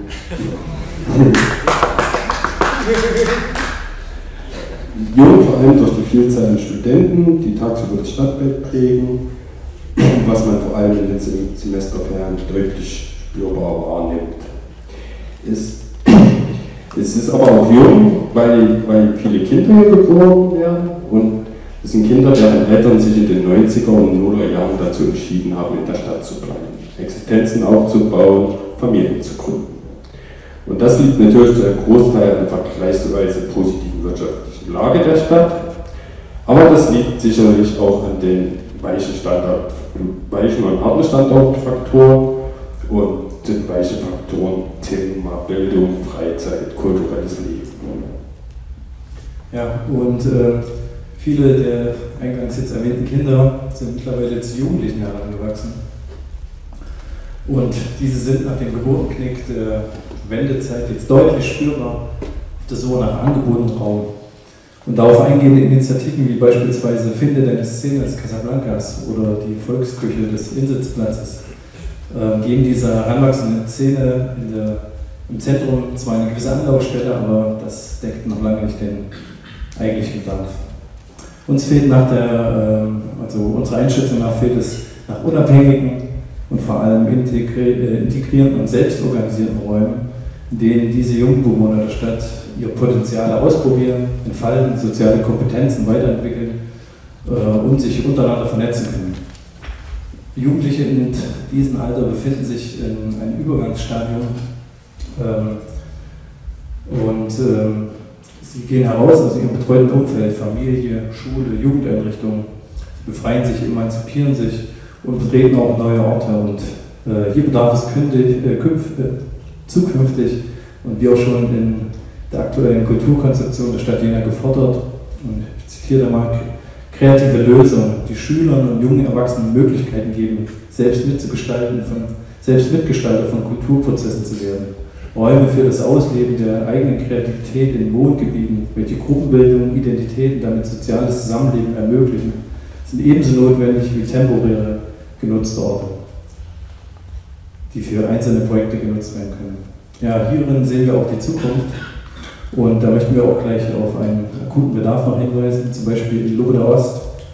Äh, dort sucht die Bewegungsküche nach wie vor eine adäquate, Herberge. Wir können zum Beispiel das frei werdende Schottgymnasium Abhilfe leisten. Die Tanzgruppe Schnapphans sucht in Jena Nord händeringend schon nach einem zahlbaren Trainingsort. Und auch der Crossroads e.V. seit Jahren schon eine sucht seit Jahren schon eine entsprechende Winterwerke für Skater und BMX-Fahrer. Die Liste ist noch lang und all diese Vereine agieren genau in dieser Altersstufe. Ist so, also können wir festhalten, äh, für die nachwachsende Generation äh, besteht auf jeden Fall ein erhöhter Raumbedarf. Ein, zwei Generationen darüber, denen geht es schon deutlich besser. Jena ist im Vergleich zu anderen Univers Universitätsstädten dieser große Reich an einer breiten Kunst- und Kulturszene. Das weit über die Landesgrenzen hinaus bekannte Kulturarena-Festival, zahlreiche Kunstausstellungen und Aktionen, ein avantgardistisches Theater sowie eine Vielzahl an Studenten- und Musikclubs und mehrere soziokulturelle Zentren stellen dies unter Beweis. Das Angebot ist zwar groß, aber äh, unserer Meinung nach fehlt es an einer gewissen Vielfalt, was man sicher auch auf die allgemein zunehmende Ökonomisierung der Kulturlandschaft zurückzuführen kann. Viele soziokulturelle Einrichtungen sind aus wirtschaftlichen Gründen, vor allem bedingt durch hohe Mieten und Gebühren, schlichtweg dazu gezwungen, ein einseitiges und massenkomparatives Angebot zu offerieren. Förderkonstrukte seitens jener Kultur, seitens des Jugendhilfeausschusses, aber auch der sich gerade etablierende Fonds Soziokultur sowie der lokale Aktionsplan können, können diese Entwicklung zwar entgegenwirken, wichtig ist aber unter unter, unter anderem auch der Verbleib von Grundstücken in kommunaler Hand, da hierdurch freie Räume eine mietpreissteigende Marktlogik entzogen werden können.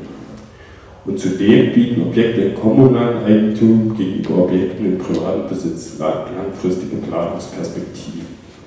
Äh, Zweiteres zeigt sich gerade beim Kunsthof, deren Herberge sich in privater Hand befindet und äh, eine weitere Etablierung durch den bevorstehenden Verkauf des Hauses gefährdet ist.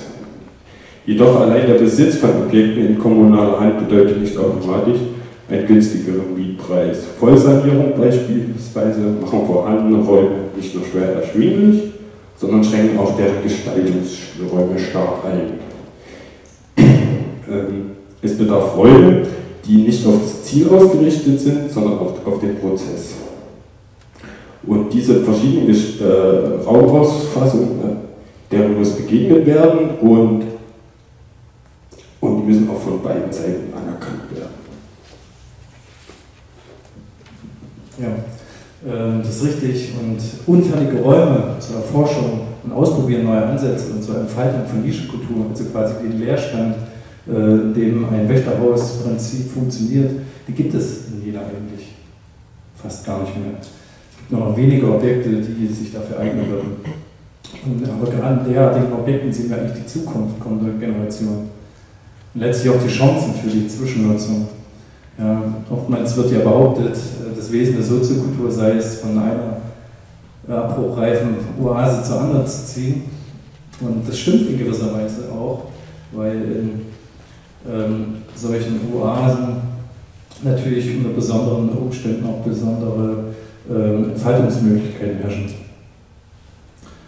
Und ja, ähm, von daher ist das Konzept der Zwischennutzung nicht unbedingt nur als notdürftig oder als Übergangsweise anzusehen, sondern vielmehr als eine eigenständige Art der Herangehensweise, der in unfertigen Räumen mit geringem Aufwand sozusagen äh, besonderen Bedingungen auch Besonderes entstehen kann.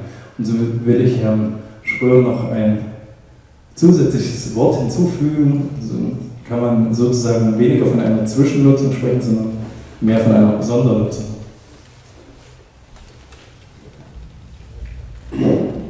Will man aber langfristig und dauerhaft, dauerhaft soziokulturelle Projekte entwickeln und verwirklichen, letztlich auch sein Leben davon beschreiben, bietet nur ein fester Ort, das kann ruhig eine Oase oder eine Insel sein, eine unbedingte Arbeitsgrundlage. Hierbei geht es um die Gestaltung einer Lebenspraxis und Alltagskultur verbunden, in der Lebensstile, kulturelle Praktiken und sozialräumliche Gestaltung einander begegnen. Ja, und in der Suche nach Objekten sehen wir eigentlich weniger das Problem, denn trotz äh, akuter Raumknappheit in Jena schaffen es eigentlich immer wieder viele Initiativen und Vereine, einen Raum zu finden, der auch eine bestimmte Aura hat, quasi ihren Raum. Äh, zwar ist natürlich die Hilfe trotzdem notwendig und auch, wie gesagt, sehr nützlich, aber wie gesagt, ein größerer Unterstützungsbedarf besteht vielmehr in, der, in dem zweiten und dritten Schritt. Gemeint ist damit die Unterstützung in der Kommunikation und Verhandlungsführung mit den Eigentümern, die Beratung und der Beistand von Vertragsabschlüssen sowie die Entwicklung nachhaltiger Strukturen, um die wichtigsten Fälle zu nennen.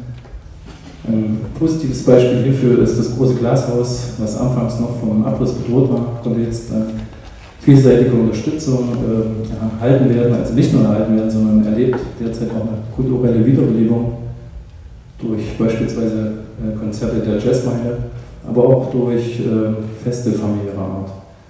Und jüngst ist, vorhin wurde es schon erwähnt, der Ort auch noch um einen weiteren Raum ergänzt worden, um das Zelt des Kinder- und Mongol. Ja, das ist äh, ein sehr, sehr gutes Beispiel, was die Unterstützung nach dem eigenen Finden und Suchen eines Objektes quasi nach dem ersten Schritt bewirken kann. Ja, eine weitere ebenfalls an der Saale verortete Institution ist der Strand 22, der durch die Mischung einer ansprechenden Kaffeegastronomie und eines für jeden Alters entsprechenden Kulturprogramms zu einer deutlichen Aufwertung des Volksparks Paradies äh, beigetragen hat. Leider besitzt der Betreiber nur kurzfristige Verträge und hat somit kaum Entwicklungsperspektiven. Ähm, ja, eine Unterstützung bei der Schaffung langfristiger Strukturen wäre an der Stelle wünschenswert. So, und wir sind jetzt schon beim Paradiespark. Ähm, hierzu möchte der Beirat äh, auch eine Stellung äh, abgeben. äh, äh, zudem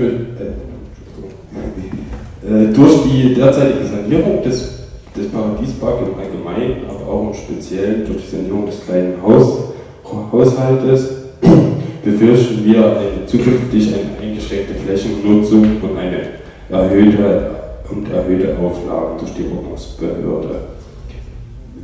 Dass so äh, soziokulturelle Projekte ausgeschlossen werden. Gerade am Beispiel des Paradiesparks spiegelt sich das Wesen der Soziokultur, Verschmelzung von öffentlichem und kulturellem Raum. Äh, diese Anschlussproblematik betrifft allerdings nicht nur den Paradiespark, sondern auch weitere Flächen. Äh, öffentliche Räume, die durch großflächige Bau Bebauung verringert werden, Beispiel Eichplatz, oder in denen eine lebendige Straßenkultur verhindert wird. Äh, hier wäre die ordnungsbehördliche Verordnung zur Aufrechterhaltung der öffentlichen Sicherheit und Ordnung der Stadt Jena zu nennen. Man könnte da einige Beispiele raus, rauspicken, die einfach ein buntes kulturelles Leben einschränken.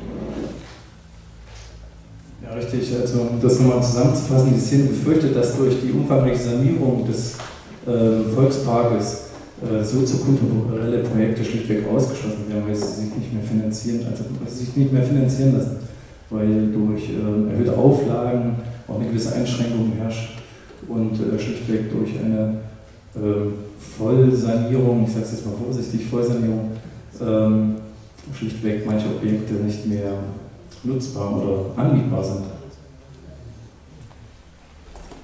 Ja, auf einen ebenfalls nicht zu vernachlässigenden Raumnotstand im allgemeinen und unterschätzten Bereich der Kreativwirtschaft, der Schulheitsform, ausführlich schon beschrieben, möchten wir auch dringend hinweisen und trotzdem noch im Jena Paris bleiben. Und zwar bieten im IT-Sektor nämlich Coworking Spaces wie das äh, Towerbyte, Kombinat Süd oder Sobexa mich bereits entsprechend zugeschnittene äh, Nutzungsangebote aber im Bereich des kunsthandwerklich produzierenden Gewerbes fehlt es an einer entsprechenden Produktionsstätte. Wir könnten die Nutzung des ehemaligen, der ehemaligen Lagerwirtschaft der FSU am südlichen Ende des Paradiesparkes als eine interdisziplinäre Atelier- und Werkstattgemeinschaft in Kooperation mit Bildungsträgern und Forschungseinrichtungen diesen dringenden Bedarf decken. Vorgesehen ist dort im Sinne der mehrfachen Nutzung und als Inkubator, ein Produktionszentrum ein Wissenspool, das an der Schnittstelle von Kunst und Handwerk, gestalterischen und handwerklichen Prozesse an einem Ort äh, vereint. Ähm, derzeit existiert nämlich in Jena kein solch ein Cluster, zumindest nicht in diesem Bereich. Und ähm, ähm, obwohl es zu Beginn des vergangenen Jahrhunderts, und ich gehe jetzt mal wirklich einen ganz großen Schritt, einen ganz großen Schritt zurück, äh, gab es schon mal eine hervorragende Synthese zwischen Kunst und Industrie. Damals wirkte nämlich Produktdesigner, der damals noch sehr jungen Bauuniversität, mit den hier äh, produzierenden Produktionsstätten äh, eng miteinander zusammen. Heute sind in diesem Bereich viele kreativwirtschaftliche Unternehmen mangels Raumstruktur gezwungen, andere Standorte gegenüber Jena vorzuziehen. Ein gutes oder sagen wir vielmehr schlechtes Beispiel ist der Startup-Unternehmen Kinematics, ähm, Gewinner des Thüringer Innovationspreises 2010 oder 2011, ich bin mir jetzt nicht ganz sicher. Jedenfalls alle drei Unternehmensgründer sind hier in Jena äh, aufgewachsen, geboren, sind eng in der soziokulturellen Szene verwandelt gewesen, haben ihre Idee in Weimar entwickelt und sind dann aufgrund des Fehlens eines entsprechenden Clusters äh, im Prozess der Unternehmensgründung dann nach Leipzig abgewandert und zufälligerweise auch in ein Objekt des Haushalts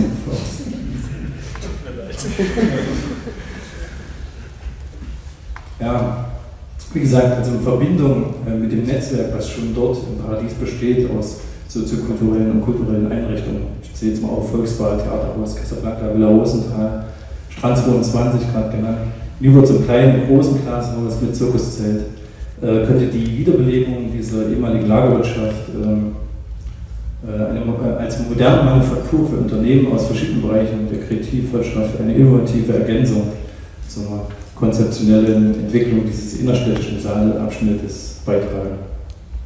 Und hier bedarf es auf jeden Fall der strukturellen Unterstützung seitens der kommunalen Stadtentwicklung. Vor allem, wie ich vorhin schon sagte, im zweiten und im dritten Schritt. Da spricht man nämlich im Rahmenplan Saale doch von dem Nutzen des Flusses als kreativ förderndes Fluidum. Und das ist auch richtig, das will ich da nochmal ergänzen. Ähm, wirtschaftlich oder kreativwirtschaftliche Unternehmen brauchen eben keine direkte Autobahnanbindung. Sie äh, zehren ihre Kraft und ihre Ideen aus äh, der Lebendigkeit der Stadt, die auch eben im grünen Herzen im Paris-Park pulsiert. Und spinnen wir die Zukunft weiter, so äh, ist aus unserer Sicht noch auch auf ein anderes äh, Baugebiet hinzuweisen. Während Kreativwissenschaftler im, im Paradiespark Inspiration erfahren sollen, können im urbanen Zentrum der Stadt in der zukünftig frei werdenden alten Feuerwache nicht nur vielseitige Energien zwischen Kunst- und Kulturschaffenden wirken, sondern auch Begegnungen mit einer breiten Öffentlichkeit stattfinden. Äh, die Gebäude werden voraussichtlich 2015 frei, wenn das neue Gefahrenabwehrzentrum fertiggestellt ist. Gespräche haben bereits stattgefunden mit dem Oberbürgermeister, mit Jena Wohn, auch mit Dennis. Die Stadt hat unseres Wissens nach als Eigentümer äh, bisher kein Planungskonzept. Jena Wohnung dagegen als Teileigentümer des angrenzenden Wohnhauses scheint aktuell angestoßen, eigene Pläne zu entwickeln. Also während einige Vertreter des äh, der Kommunalverwaltung äh, erstmal nicht gänzlich abgeneigt sind, scheint bei Jena Wohn aktuell die Gefahr bestehen, dass sie als finanzstärkerer Akteur äh, zum Konkurrenten der Initiative werden. Zur Feuerwache ist noch zu sagen, äh, die Feuerwache ist einer der letzten Orte im Zentrum, der äh, günstige Voraussetzungen für die Szene bietet. Es handelt sich um Altbauten, die unsaniert sind und damit wird Spielraum für, für die Gestaltung äh, bereitgehalten. Da sie zum Teil im kommunalen Besitz sind, bieten sie die Möglichkeit, finanzierbare Mieten oder Pachtverträge zu entwickeln. Darauf kann auch die Politik Einfluss nehmen. Durch die Zentrumslage sind sie leicht erreichbar und bieten die Chance, ein Zusammenkommen unterschiedlicher Menschen und Akteure zu verfolgen. Der Sozialraum kann eine Aufwertung erfahren, da sich in direkter Nachbarschaft hauptsächlich Verwaltungsgebäude befinden, innerstädtisches kulturelles Angebot die Lebensqualität erhöht und sich das Zentrum über die Zwezengasse ausweitet. Zu den Räumen gehört das Wohnhaus bei Jena Wohnen mit Wohnraum für bis zu 70 Menschen. Dort kann Wohnen mit niedrigen Preisen realisiert werden und zudem ein alternatives Wohnkonzept verwirklicht werden, das sich viele soziokulturelle Akteure wünschen. Und zwar gemeinschaftlich organisiertes Wohnen und die Einheit zwischen Wohnen und Arbeit, also kurz gesagt Wohnen im Projekt. Die Garagen eignen sich als innerstädtische Lagerflächen für immer wieder benötigte Gegenstände, die für unterschiedliche Veranstaltungen im kommunalen Raum genutzt werden. Größere Räume bieten Veranstaltungsflächen und Spielstätten. So ist zum Beispiel ein Interessent die Freie Bühne Jena, die zwar aktuell neue Vereinsräume äh, bezogen hat, deren Räume sich aber nur für die Proben und für die Produktion eignen und Aufführungen per Auflagen nicht möglich sind. Des Weiteren gibt es weitere kleine Räume, die eignen sich für Büros, für Vereine, für Orte zum Treffen, für Werkstätten etc. Soziale Initiativen können ebenso Raum für ihre Büros oder ihre Betreuungsangebote finden, wie auch Kunst, Künstler, für Ateliers und Vertreter der, der jungen Kreativwirtschaft. Im Keller wäre Platz für eine Menge an Proberäume für Bands, die bislang noch zu wenig Raum finden. Die Auseinandersetzungen, die in Göschwitz wegfallen, Proberäume sind sicher noch in Erinnerung. Die Lösung, die dafür zum Glück gefunden wurde, hat jedoch zwei Nachteile. Erstens sind diese zeitlich begrenzt und Bands brauchen auch Langzeitperspektiven und zweitens sind diese Räume immer noch zu wenig. So ist die Idee der Kulturwoche, unterschiedliche Akteure der kreativen und kulturellen Szene an einem Ort zusammenzubringen und Güter zu teilen und Querfinanzierung möglich zu machen, um Synergien im kreativen Prozess zu fördern. Ein alternativer Kulturort, der in ein paar Jahren ein ebenso großes Renommee haben kann wie das Casablanca. Ein Ort, der Entwicklungs- und Lebensperspektiven bietet und der Menschen nicht nur in der Stadt hält, sondern auch Menschen anzieht. Ob als kurzzeitiger Besucher oder als länger wirkender Akteur, eine Utopie, die mehrere, mehrere Bedürfnisse gleichzeitig hilft zu erfüllen. Ja, und bevor wir jetzt zum Abschluss kommen, äh, ich will das noch aufgreifen mit dem Proberäumen. Ähm, ich glaube, das ist wirklich noch nicht ein gelöstes Problem. Ich bin mir nicht ganz sicher, wie viele Proberäume jetzt in Göschwitz temporär entstanden sind. 20, 25, 19. ich bin mir auch nicht ganz sicher, aber ich glaube, es gibt in Jena um die 100 Bands. Das heißt, ähm, das gerade mal für ein Fünftel der Bedarf an Proberäumen gedeckt ist, wirklich noch ein großes Problem. Da möchte ich nochmal dran erinnern, nur um diese Relation nochmal aufzuführen. Ja, und wie gesagt, entscheidend für die äh, kulturelle soziokulturelle Entwicklung der Stadt Jena ist eine gesunde Mischung aus einer Vielzahl von vielfältigen Orten mit unterschiedlichen Ansätzen und Angeboten, sowohl im Sonder- oder Zwischen- oder auch in dauerhafter Nutzung. Und äh, hierbei kann durch eine ebenso vielfältige Unterstützung seitens der Kommune und auch ihren Bürgern die Weiterentwicklung bestehender und der Aufbau neuer Kulturräume begünstigt werden. Ganz kurz. Ähm, ja, diese Unterstützung, die beschränkt sich eben nicht allein auf eine rein finanzielle Förderung, sondern schließt äh, gegenseitige Akzeptanz, Vertrauen, Beratung, Vermittlung, der Abbau von Vorteilen, Regularien und Bürokratie, Hilfe bei Drittmittelakquise sowie vor allen Dingen, und das ist uns, äh, ist uns auch ein wichtiger Punkt, äh, das Zurückhalten und das äh, Rückgewinnen von öffentlichem Raum und kommunalen Objekten mit ein. Das sind die sogenannten Stellschrauben, an denen Politik und Verwaltung drehen müssen, um neben den bestehenden Häusern auch noch aktuell diskutierten Projekten im Raum die gleichberechtigte Chancen auf Realisierung zu äh, gewähren. Ansonsten sehen wir nämlich die Gefahr äh, einer zunehmenden Abwanderung nicht nur kreativer Köpfe in Städte mit besseren Entwicklungspotenzialen und Bedingungen. Denn äh, Jena soll ja auch noch in Zukunft jung, schön und vor allen Dingen vielfältig bleiben. Vielen Dank.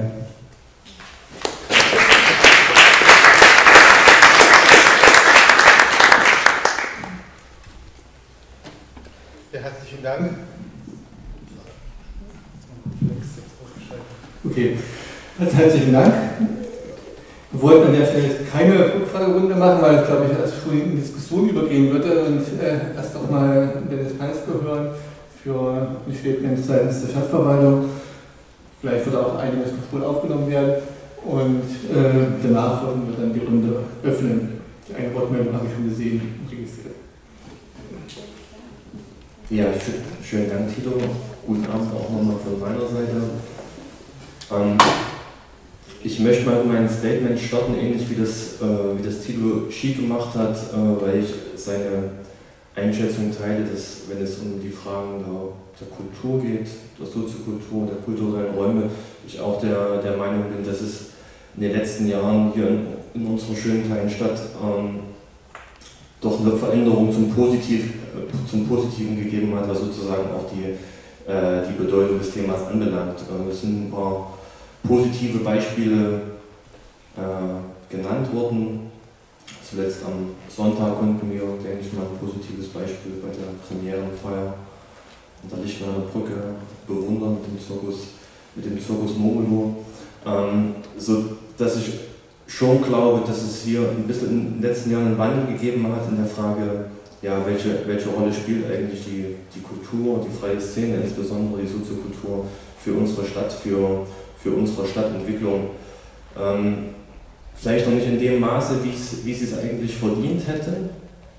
Ja, ich sage immer, als ich hier in die Stadt gekommen bin, um um zu studieren. Da waren so, so Einrichtungen wie das Casablanca zum Beispiel für mich so ein bisschen der Unterschied zwischen einer Stadt mit einem großstädtischen urbanen Flair und, und einer Ostthüringer Provinz. Ja, weil es einfach solche Einrichtungen gab, die es vielleicht in vergleichbaren Städten dieser Größenordnung so nicht gäbe. Sodass es äh, für mich ein wichtiger Punkt war, äh, nicht nur hier zu studieren, sondern auch hier zu bleiben, weil ich mich einfach wohlgefühlt habe und es auch nach wie vor, nach wie vor tue.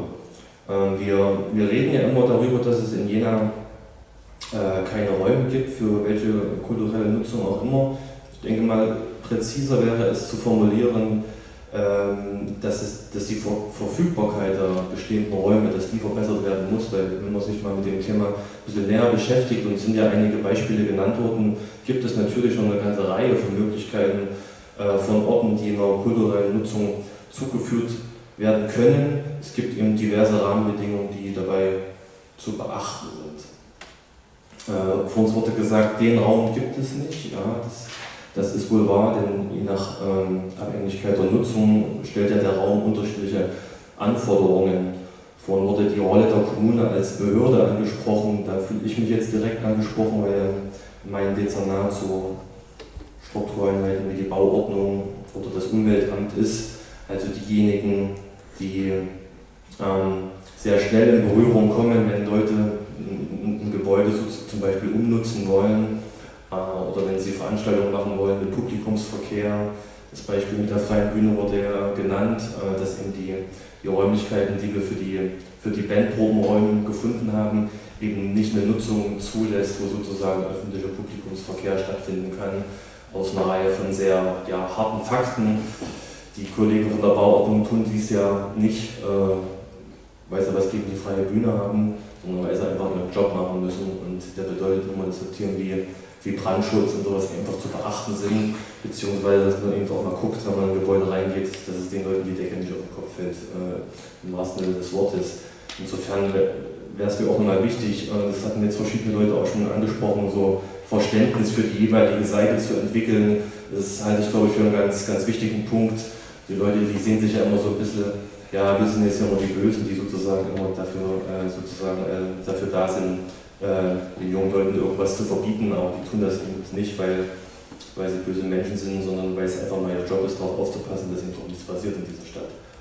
Ähm, ein weiteres großes Thema, was bei uns in der Behörde, gerade bei den Umweltleuten, natürlich eine riesengroße Rolle spielt, ist immer alles, was mit Lärm zu tun hat. Nun könnte man unterschiedliche Definitionen haben, was für ein Lärm bedeutet. Wenn beispielsweise in der Strandbar abends Musik gespielt wird und der Beat schwappt so das Tal hoch. Zu mir auf dem Balkon ist das jetzt für mich persönlich nicht so eine Belästigung. Es gibt andere Leute, die das eben anders sehen, äh, die sich dann eben auch sehr schnell bei uns melden. Äh, überhaupt ist ja der, der beste Mitarbeiter der Bauordnung ist ja der böse Nachbar. Also es ist ja nicht so, dass ich hier Herrscher von Kollegen hätte, die sozusagen durch das Stadtgebiet ziehen äh, und sozusagen aufpassen, dass hier auch alles in Ordnung ist, sondern wir werden ja meistens von der Bevölkerung darauf hingewiesen, es ist zu laut, äh, macht mal was, äh, untersagt mal die Nutzung. Äh, und wenn wir diese, diese, ähm, diese Anfragen bekommen, müssen wir dem eben auch nachgehen. Ne? Das ist nicht nur eine Frage, was für neue Räume, sondern eben auch eine Frage äh, von, von äh, Initiativen, die es schon gibt. Ich glaube auch im Wagner ist das Thema Lärmschutz jetzt nicht kein unbekanntes. Äh, es gibt verschiedene andere Stellen, wo das, wo das eben auch so ist. Ähm, wir haben mal bei uns im Dezernat angefangen, in den letzten Wochen und Monaten äh, auf meinen Wunsch hin mal zu beginnen, an einer Liste zu arbeiten, an, an Räumen, die immer wieder in der Diskussion sind, äh, das sozusagen auch mal ein bisschen zu strukturieren und auch mal, so, mal den Versuch zu starten, so ein bisschen die, die Rahmenbedingungen abzustecken. Also was für eine Art von Nutzung könnte denn dann möglich sein? Äh, wir haben auch versucht, ein bisschen diese Vermittlerrolle zu übernehmen. Wir hatten den den Vortermin am Burgauer Weg und haben uns über das Projekt der, der Lagerwirtschaft unterhalten. Äh, KJ hat sozusagen auch mal zum aktuellen Eigentümer den Kontakt hergestellt, dass man sich das auch mal angucken kann. Das ist ja auch gerade bei der, beim Projekt der Feuerwache auch so ein, so ein Anliegen gewesen, dass man erstmal weiß, worüber redet man denn. Hat man dann mal, kriegt man dann mal Pläne, kann man dann mal rein in die Gebäude, um mal ein Gefühl dafür zu bekommen, ähm, äh, ob die, die Projektideen, die man hat, ob die überhaupt dort realisierbar werden. Also die, die Rolle des Vermittlers als Kommune ist, glaube ich, auch ein, äh, ein, ganz, wichtiger, ein ganz wichtiger Punkt. Ähm, als Behörde natürlich, ja, Ermessensspielräume, die, die gibt es, sicherlich immer, aber eben auch nur bis zu einem gewissen Punkt. Das ist immer, auch für jemanden, der das noch nicht so lange macht, auch immer wieder spannend, wie schnell man da an seine Grenzen auch stößt, weil Gesetze nun mal Gesetze sind und an einem gewissen Punkt man dann eben auch diesen Ermessensspielraum, leider möchte man sagen, äh, nicht mehr hat. Ich fände es wichtig, dass man als, als Kommune, als Stadt diese Frage äh, des Dialoges, dass man die weiterspinnt, dass man überlegt, wie kann man diesen Dialog führen. Die Veranstaltung heute ist, glaube ich, ein, ein, ein Schritt in die richtige Richtung. Äh, wir sollten uns darüber unterhalten, wie man das auch verstetigen kann. Wir haben den Beirat jetzt seit einiger Zeit, wo ja auch lange kämpft in der Politik, äh, nach meiner Erinnerung. Wir haben über die Diskussion mit dem, über das Kulturbudget der nächsten Jahre ja auch Möglichkeiten geschaffen, äh, die Frage des, wie habt das genannt, Kulturbüros, du sagst da noch was dazu, das vielleicht auch mit Finanzen zu, zu untersetzen, dass man eben diese Strukturen eben auch hat, wo die Kommune sozusagen diese Möglichkeit auch übernehmen kann, so ein bisschen diese Mittlerfunktion zu übernehmen, mal einen Eigentümer anzusprechen, ähnlich wie das ja jetzt hier äh, die Kollegen äh, in Leipzig tun. Wobei ich schon auch glaube, bei dem Projekt, dass so ein bisschen der Vorteil ist, wenn man mit einem Eigentümer redet, der sozusagen die, die Wahl hat zwischen dem, was sie anbieten und nichts, ist es natürlich eine andere Position, als wenn ich sozusagen das, äh, das Gefühl habe, ich kann da meinen Standort vermarkten und mache da tolle Wohnungen draus und verdiene damit eine Menge Geld. Ja, also ich glaube, so ein wesentlicher Punkt auch für den Erfolg in Leipzig ist es eben, dass es eben Leerstandsquote in dieser Größenordnung gab, um sozusagen eine gewisse Offenheit äh, zu erzielen beim Eigentümer, äh, der sich denkt, ja, besser als nichts. Ja. Aber trotzdem, diese, gerade diese, diese Dialogfunktion zwischen Nutzer und Eigentümer, dann nochmal so, sozusagen so einen Puffer zu schaffen, finde ich einen ganz interessanten An, äh, Ansatzpunkt und den könnte meiner Meinung nach auch die Stadt übernehmen, diese, diese kommunikative Ebene. Ich würde gern äh, an, unserer, an unserer Liste der potenziellen Möglichkeiten weiterarbeiten. Wir haben das jetzt mal mit dem Jugendamt abgestimmt, die auch einige Projekte uns äh, sozusagen genannt haben. Ich habe mit meinen Leuten vom Umweltbereich und von der Bauordnung gesprochen, was, was die für Randbedingungen sehen würden, gerade hinsichtlich solcher Sachen wie, wie Lärm ähm, oder eben auch Brandschutz. Ähm, wir werden uns mit den kommunalen Immobilien Jena unterhalten, was da vielleicht perspektivisch möglich ist. Schulnetzplanung, Kita-Bedarfsplanung bedeutet ja vielleicht auch, dass es äh, zukünftig Optionen gibt, was städtische Immobilien anbelangt. Die Frage ist, äh, wie man wie wir da äh, eine, eine adäquate Nutzung reinbekommen, um möglichst wenig den Nachbarn zu stören und den Kulturschaffenden den Raum zu geben, den sie brauchen in dieser Stadt. Und, äh, aber ich bin wie immer eigentlich vorsichtig optimistisch, dass wir uns da auf einem ganz guten Weg befinden und die äh, ob alle diese Konzepte, die ich in der letzten Zeit gelesen habe, ob das nun die Feuerwache ist, ob das die Lagerwirtschaft ist, ob das fremder ist und was da gerade alles in der Diskussion ist, ob alle diese Projekte wirklich so eins zu eins umgesetzt werden können oder nicht, ob sozusagen auch die kritische Masse an Menschen dafür da ist und an, und, äh, an potenziellen Kulturschaffenden. Ich weiß es nicht. Ja. Äh, gerade auch das Projekt der Feuerwache ist doch auch ein großes Projekt, wenn man sich das Grundstück mal anschaut, wir hatten es am Montag auch besprochen. Aber äh, zumal auch da sicherlich auch konkurrierende Nutzungsmöglichkeiten vorhanden sind. Aber ich bin vorsichtig optimistisch, dass wir ähm, hier auch einen Schritt weiterkommen werden, wenn es darum geht, neue Räume, neue Möglichkeiten zu schaffen, äh, sozusagen der, unserer Kulturszene, unserer freien Szene hier auch den Entfaltungsspielraum zu geben, den sie braucht, um unsere schöne kleine Großstadt noch ein bisschen attraktiver zu machen.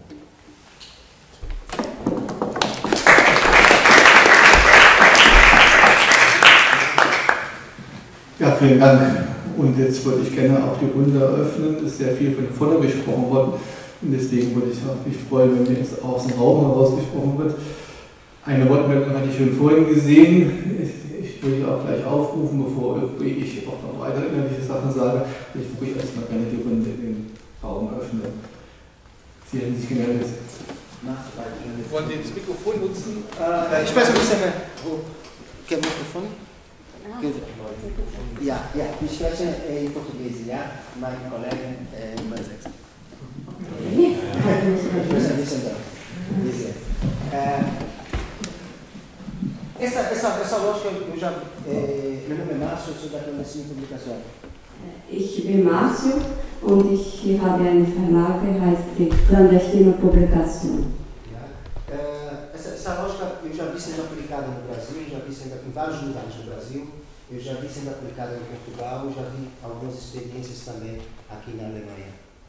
Ähm, das Thema, das wir heute hier behandeln, ich habe schon aus anderen Blinkepunkten oder Blinkwinkeln äh, gesehen und erlebt in Brasilien, in Portugal und einige Beispiele hier auch in Deutschland. Yeah.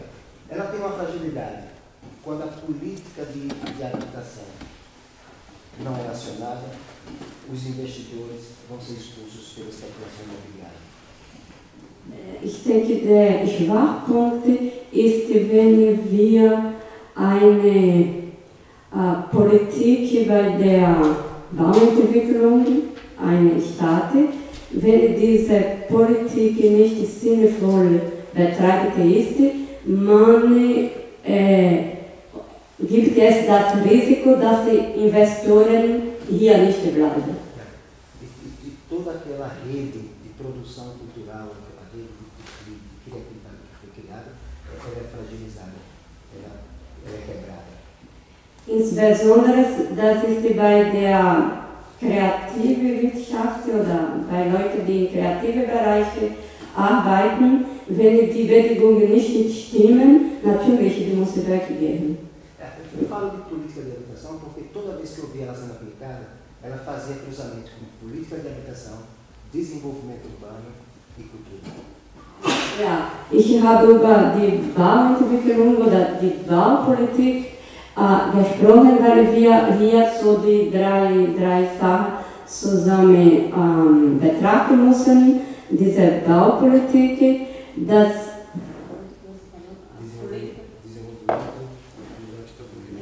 die äh, Bauentwicklungspolitik und die Kultur. Diese drei Sachen müssen wir dann äh, insgesamt betrachten. Was ich die Baupolitik, weil vielleicht ich determine es nicht, so einfach die Eigentümer oder die Politik, was anderes ist das Bau äh, oder Entwicklungspolitik, wo die Staat oder die Politik versucht dann Einfluss zu nehmen.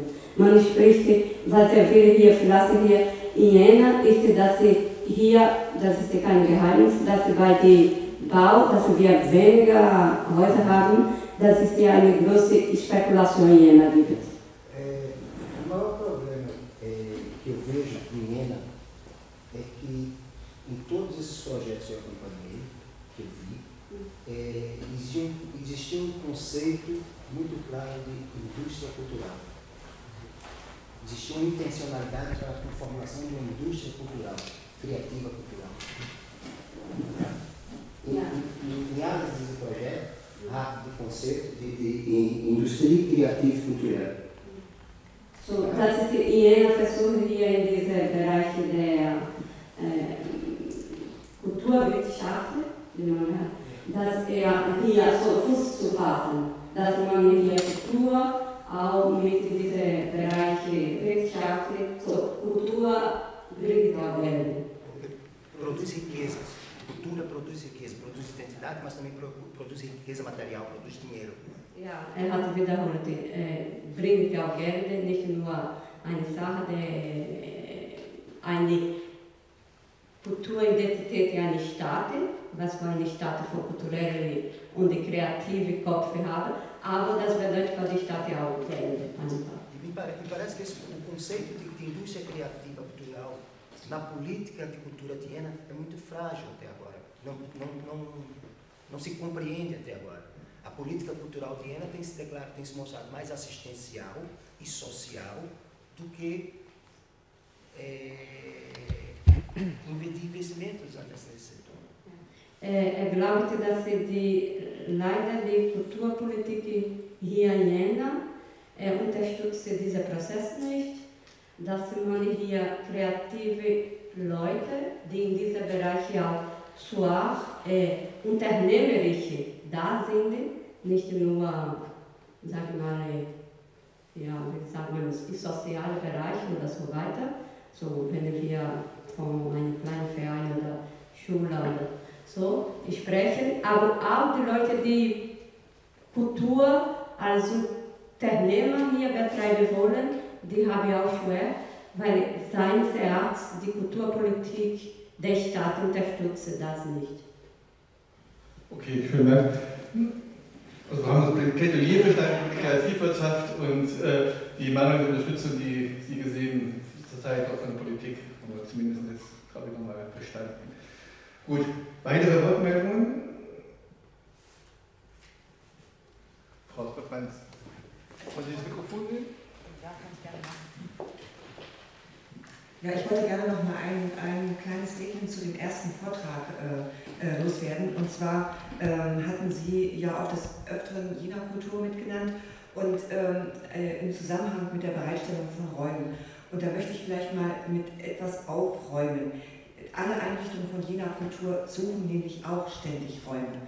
Es ist nicht so, dass wir die im Überfluss hätten und könnten sie jeden Tag anbieten. Und ich kann genügend Beispiele nennen, wo das nämlich auch bei uns schon nicht mehr funktioniert. Äh, und auch die ähm, Einrichtungen, auch äh, Kindergärten, Schulen, auch alle die suchen Räume. Also das ist hier, ich denke, ein, ein Dauerbrenner-Thema in Jena.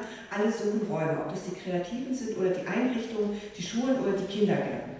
Und äh, wir haben, wir müssen uns da tatsächlich manchmal auch wirklich einen Kopf machen, wie wir alles das, was wir anbieten wollen, auch unterbringen können. Wir hatten neulich mal äh, die Veranstaltungstage im Volkshaus und im Volksbad zusammengezählt. Wir sind da auf äh, 270 oder 250 Veranstaltungstage gekommen im Jahr. Wenn man jetzt davon abzieht, dass wir auch mal einen Tag brauchen in der Woche, wo wir die, die Häuser wieder sauber machen müssen, da sind wir eigentlich rund um die Uhr jeden Tag ausgelastet. Und da ist nicht mehr viel. Denn Veranstaltungstag heißt aufbauen früh und nachts wieder abbauen und nächsten Morgen wieder anfangen. Und äh, ähnlich ist es, wenn wir die Musik- und Kunstschule uns anschauen. Wir haben solch einen Zulauf an, äh, im, Zu, im, Zusammenhang mit dem Bandprobenprojekt, Friedrich, ich kann das ja hier mal sagen, dass uns die Räume äh, für die Schlagzeuger einfach nicht mehr ausreichen. Wir brauchen auch hier neue Räume. Wir sind ausgebucht in der Musik- und Kunstschule. Und, äh, oder wir behindern mit unseren Bandproben wiederum andere Musikinstrumente, die Klavierspieler oder die äh, Geigenschülerinnen oder Schüler. Also ich wollte nur sagen, das ist für uns auch ein Dauerthema. Ich kann die Volkshochschule nennen, den Veranstaltungsbereich, die Musik- und Kunstschule. Wir sind ständig am Suchen.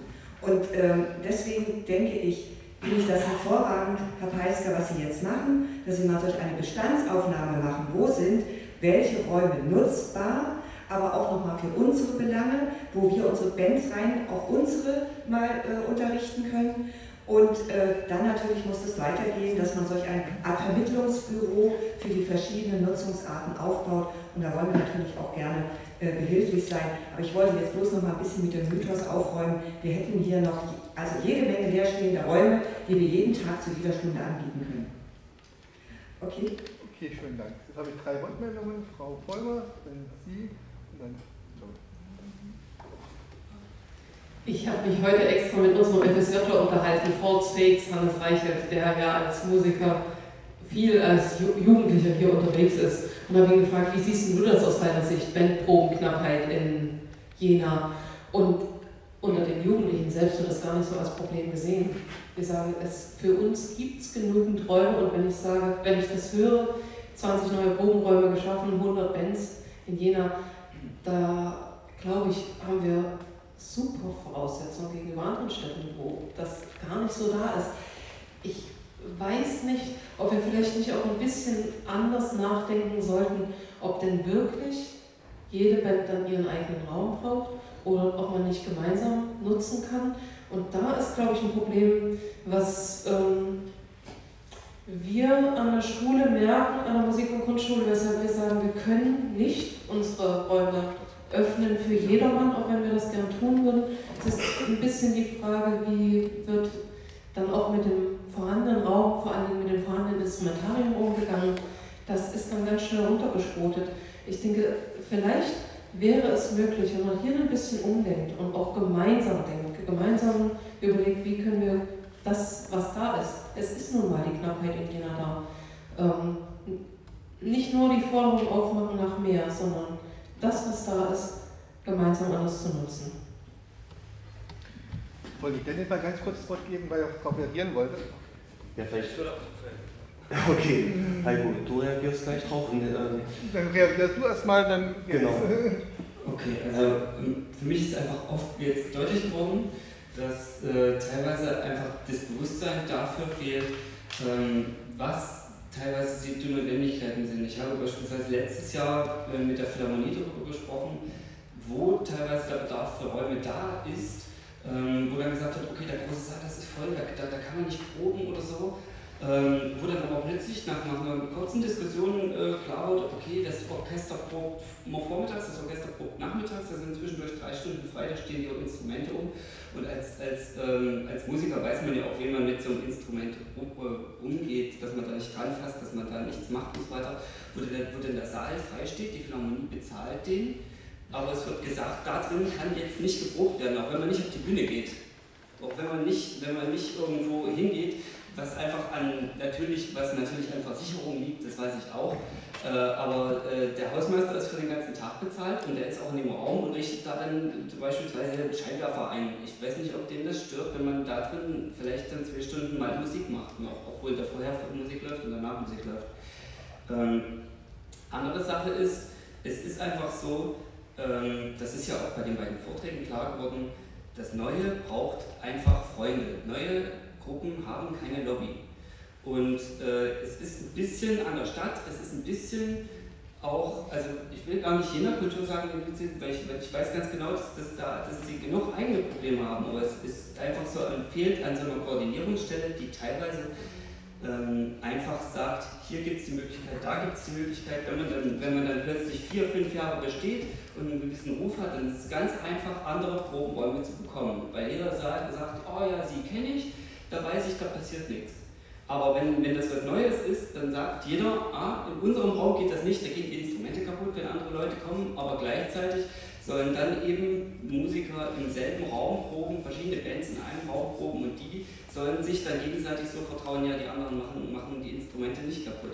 Also es fehlt manchmal einfach ein bisschen an dem, an dem Bewusstsein, dass äh, ohne fehlende Außenwirkung, ohne Profil sozusagen, ähm, immer ein, ein viel größerer Respekt, ein viel größerer teilweise eben auch Angst vor jungen, neuen Gruppen da ist, habe ich das Gefühl, und deshalb eben die vorhandenen Räume, die ja beispielsweise in der Schule auch sein können, ähm, nicht freigegeben werden, weil äh, man sagt, naja, da wissen wir nicht, was damit passiert. Natürlich wurden schlechte Erfahrungen gemacht, das kann ich auch nachvollziehen. Also Jugendliche sind Jugendliche und da ähm, kann auch mal ähm, über Übermut vielleicht irgendwie eine Fehlreaktion kommen. Aber ich habe einfach das Gefühl, wenn wir Jugendkultur wollen, dann sollten wir viel mehr Vertrauen in die Jugendlichen auch reingeben, weil die ja ihre Musik auch machen wollen. Die werden natürlich sich dann auch entsprechend an die Regeln halten, die vorgegeben werden. Also, ja. Vor allem eigentlich, das ist ja hier in Jena, dass wir ja eigentlich eine ganz gute Situation haben. Das sehe ich im Prinzip auch so. Ich würde aber gerne zwei Punkte noch anfügen. Zum einen, Raum ist nicht gleich Raum. Ähm, gerade das Angebot, was wir zum Beispiel in Jugendclubs machen oder auch in, in der Schule, ist, glaube ich, für ein gewisses Klientel einfach nicht interessant weil man ab einem gewissen Alter vielleicht einfach in, in so einem Jugendclub auch nicht mehr sein will, weil da Leute rumspringen, die, weiß ich nicht, Teenageralter und sowas. Und wenn ich dann so 20, Mitte 20 bin, suche ich vielleicht auch einfach einen anderen Raum, äh, wo vielleicht auch sozusagen diese Jugendclub-Atmosphäre oder auch so eine Schulatmosphäre vielleicht einfach, einfach nicht mehr so mein Ding ist. Äh, das ist das eine, also die Frage der Zielgruppe. Und das zweite, was ich gerne anfügen möchte, ich habe im letzten Jahr sehr intensiv miterlebt, wie sozusagen die Alternativsuche nach Bandprobenräumen losging, als klar war, dass in Göschwitz sozusagen äh, Funton äh, e.V. raus muss. Ähm, und das, zum einen war vollkommen klar, dass es eine Zwischennutzung war, also das ist, denke ich mal, von KJ von Anfang an sehr deutlich kommuniziert worden. Ich denke aber, wir sollten auch als Lehre daraus sehr viel früher damit anfangen, was denn Plan B sein könnte, falls die jetzige Möglichkeit, die die Leute haben, aus irgendwelchen Gründen auch immer nicht mehr, nicht mehr zur Verfügung steht. Damals ist ja die, in der Stadtverwaltung, das war ja schon fast panikartig, wie alle möglichen Verwaltungsbereiche an diesem Thema gearbeitet haben. Da war die Wirtschaftsförderung dabei, da war jene Kultur mit dabei, da war KI mit dabei. Das jetzt in der Stadtentwicklung, teilweise hat nur das Gefühl, es gibt da nur noch ein Thema und alle Verwaltungsteile arbeiten irgendwie mit dran, was natürlich aller Ehren wert war. Ich will damit nur sagen, wir sollten, und das, das habe ich auch in den Dialog gemeint, wir sollten sehr viel früher damit anfangen, eben über so einen Plan B zu reden, weil ich eben auch nicht weiß, wie lange das noch, äh, wie lange dieser Mietvertrag eben noch gültig ist. Und äh, je schneller wir auch Plan B in der Tasche haben, umso ruhiger können wir auch kommunizieren, sollte es mal dazu kommen, dass wir wirklich einen Ersatzbedarf schaffen müssen. Insofern auch mal das Plädoyer für diese koordinierende Vorgehensweise, wo ich glaube ich die Stadt schon auch eine Verantwortung sehe. Ja, ich würde mich gerne auch erstmal bedanken ähm, an die Veranstalter, die ähm, die Diskussion ein Stück weit in die Öffentlichkeit gebracht haben, weil ich finde, da gehört sie hin und ist auf jeden Fall ein Thema, was uns in Jena weiterhin beschäftigen sollte. Ich danke auch äh, den zwei Vertretern vom soziokulturellen Beirat. Nur ähm, vermisse ich äh, den ganzen Referat von euch beiden, äh, habe ich so ein äh, Stichwort, gut, das ist einmal gefallen, aber ein ganz zentraler Punkt äh, oder Ort, der nicht genannt wurde, wurde äh, der quasi auch Lebendigkeit, Unkonventionalität, ähm, Unkommerzialität und eben auch ein Stück weit äh, Lebensqualität für die kreative Klasse, wenn ich es mal so nennen darf, in Anführungsstrichen, in Jena verkörpert und der befindet sich äh, am Inselsplatz und ähm, einleitend wurde ja, wurde ja auch erwähnt, dass ähm, sich kulturelle Initiativen sich in letzter Zeit verstärkt äh, auch in der Öffentlichkeit gemeldet haben. Das waren die Skater, das waren die, äh, die Jungs äh, oder die Bands, die um ihre Angst um ihre äh, Proberäume hatten. Und im letzten Jahr hatten wir auch eine äh, spontane äh, Demonstration von ähm, ja, äh, Angehörigen, äh, Teilhabern, Stakeholdern ähm, in der Inselsplatz-Initiative und es gab eine, eine spontane Petition. Vielleicht kennt den Dennis Peiskadi auch, vielleicht hat man in der Stadtverwaltung auch gezählt, ähm, mit wie viel kleinen Petitionen der äh, Briefkasten des Bürgermeisters, äh, ich sage jetzt mal in Anführungsstrichen, zugemüllt wurde. Ich würde da erstmal zwei äh, Sätze von vorlesen, weil die drücken ein Stück weit auch eine gewisse Sorge aus, eben von, ich sage jetzt mal, alternativen Jenensern. Äh, wir sind wütend, dass uns kreativen Kulturschaffenden wie genießenden Menschen immer wieder die Räume verloren gehen, in denen wir Kunst, Musik, politisches Denken, soziales Miteinander und alle anderen kulturellen Vielfältigkeiten ausleben können. Eine hübsch sanierte Stadt mit funktionierender Wirtschaft und Wissenschaft ist noch lange nicht lebendig. Und das nochmal zum Stichwort Lebendigkeit. Also ähm, uns sind da ungefähr 600 Leute durch die Innenstadt gezogen. Und ganz interessant, zu einem anderen Räumen, einer anderen Räumlichkeit, die sich am Westbahnhof befindet und eben für viele eben auch noch eine offene Wunde war. Also Stichwort Identitätsbildung für äh, junge Menschen, die eben sich auch kreativ ausleben wollen. Also Stichwort äh, Lebendigkeit, Lebensqualität. Und äh, die Gefahr eben auch aus Sicht der Stadt, dass da ja, ein kreativer Braindrain auch stattfinden könnte. Also ich muss das nochmal mit den Bands differenzieren und wenn ich das da differenziert habe, kann ich das auch nochmal umbringen auf alle anderen Initiativen inklusive ich glaube, wenn ich das mit den Bands differenziert habe, kann man das auch nochmal umbrechen auf andere Initiativen aus anderen Kulturbereichen. Die ersten, die anfangen Musik zu machen, sind Schüler, ähm, noch nicht mal unbedingt in der Schule, aber auch schon. Und die haben in den Jugendzentren Probenräume, die ausgestattet sind. Die müssen da auch nichts mitbringen, weil die nämlich gar nichts haben. Von den von 50 Bands, die anfangen mit 12, 13, 14, sind mit 16 vielleicht noch 50, 40 Prozent am Start. Der Rest hat bereits aufgegeben. Diejenigen, die dann weitermachen, auch nach wie vor in den betreuten Probenräumen, wo man keine Technik mitbringen muss, wo es aber einen Verantwortlichen geben muss, der jeden Tag nachguckt, was ist kaputt. Weil das nicht funktioniert mit Musikern, jedenfalls in diesem Alter noch nicht. Ähm, das geht ein Stück weiter. So wie die 16, 17 sind, die ersten Auftritte hatten, die ersten Lorbeeren auch gekriegt haben aufgrund von Publikumsresonanz, dann entwickeln sich das, dann kommen die nämlich dazu, dass die sich auch Stück für Stück eigene Technik anschaffen. Dann reichen nämlich die Verstärker im Jugendzentrum nicht mehr, weil die nämlich noch freudig klingen. Das Schlagzeug mit Kappe kriegt, das hört man dann irgendwann. Und dann sind die so weit, dass die auf Probenraumsuche gehen müssen, weil sie müssen ja das Equipment irgendwo hinbringen, das passt in kein Jugendzentrum, das passt in keine Schule und es muss einen Verantwortlichen geben. Hat nämlich Geld gekostet. Und dann beginnt die Suche nach den Räumen und dann würde ich unterscheiden, es gibt Leute, die finden einen. Die finden auch irgendwas und manchmal ist es nur eine Gartenlaube und die arrangieren sich. Manche haben bei Überfundton Göschwitz Räume gefunden, das hat ein Teil funktioniert, es hat Teil nicht funktioniert. KJ musste immer wieder mal Mahnungen schicken oder damit drohen, ihr fliegt raus, wenn ihr euer Geld nicht bezahlt. Foton hatte das Problem jetzt auch schon, dass man natürlich eine Hand nimmt, aber nicht darüber nachdenkt, dass das auch was kostet. Ähm, trotzdem haben wir nach wie vor zu wenig Probenräume. Selbst wenn nur vielleicht 30 Prozent der anfangenden Jugendlichen zum Schluss als ältere Menschen oder als Jugendliche oder junge Erwachsene immer noch Musik machen und sagen, wir wollen auch auf dieser Strecke weitermachen, vielleicht wollen wir sogar Profis werden. Also ich glaube, es ist ganz differenziert zu betrachten und das würde ich auch nochmal auch auf den Inselsplatz. Ne?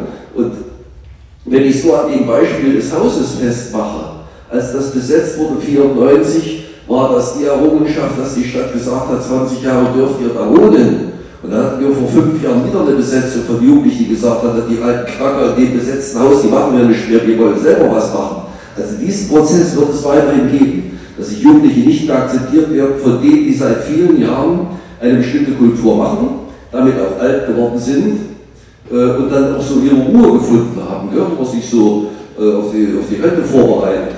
Und ich glaube, darüber brauchen wir auch nicht nachdenken und diesen Prozess müssen wir aushalten. Da muss man denen auch mal sagen, Leute, geht halt nicht. Ja? Trotzdem muss ich nach wie vor unterstützen, jeder Jugendliche, der irgendwann Anfang der 20er Jahre sagt, ich brauche einen Probenraum, die muss man das auch abkaufen. Weil nur die, die bis dahin das nicht mehr wollen, die sind weggebrochen. Da brauchen wir nicht mehr drüber nachdenken. Und von daher sind wir eigentlich noch gut bedient mit nur fehlenden, was weiß ich, 30, 40 Probenräumen. Okay?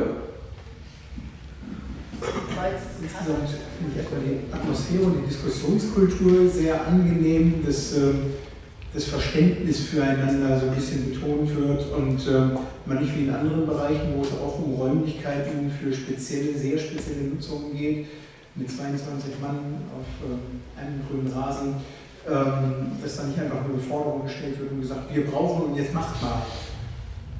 Das ist so schon alleine sehr vertrauensbildend. Und ähm, ähm, auch wenn der Ansatz aus Leipzig vielleicht nicht ganz so vergleichbar ist, weil bei uns in der Tat, also bei einem Prozent Leerstand in Wohnungen, bei noch nicht mal zwei Prozent Leerstand Büroflächen. Ähm, wir haben viel gebaut in den letzten Jahren, 400 Wohneinheiten pro Jahr, aber die Menschen, das Leben wächst irgendwie schneller und äh, wir kommen nicht hinterher. Diese Flächenkonkurrenz, die wir damit spüren, an allen Ecken und Enden, die spürt sich äh, oder lässt sich hier im Raum dokumentieren, die findet sich bei Carnot, die findet sich bei allen, die irgendwie Raum haben wollen. Und das heißt, wir brauchen Akzeptanz, um mehr Räume zu schaffen. Und daran fehlt es ganz massiv in dieser Stadt. Egal, wo wir versuchen, ein Grundstück zu verkaufen, ein Haus zu bauen, es findet sich immer ein Nachbar, der sagt, nö, der Fleck aber nicht. Damit rede ich nicht nur über den Inselplatz, vielleicht auch, aber damit rede ich auch über die Zeitung heute, Nordviertel, Herr Ferge, die Zeitung vorgestern, Ostviertel, die Zeitung vorvorgestern, Friedensberg. Wenn wir nicht mehr Räume schaffen, steht auch nicht mehr zur Verfügung. Dafür braucht man eine Grundakzeptanz. Wachstum heißt, man baut an der Stelle, wenn es um Räume geht. Und da bitte ich auch einfach um ein bisschen Unterstützung.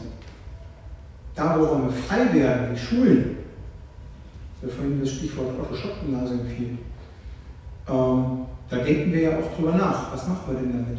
Die Schule ist ein ziemlich spezifisches Haus. Es ist jetzt nicht so ganz einfach als Wohnung schnell an den Markt zu bringen oder so. Kann man auch machen. Aber ähm, vielleicht gibt es ja auch andere Nutzungsmöglichkeiten. Da sind wir dabei.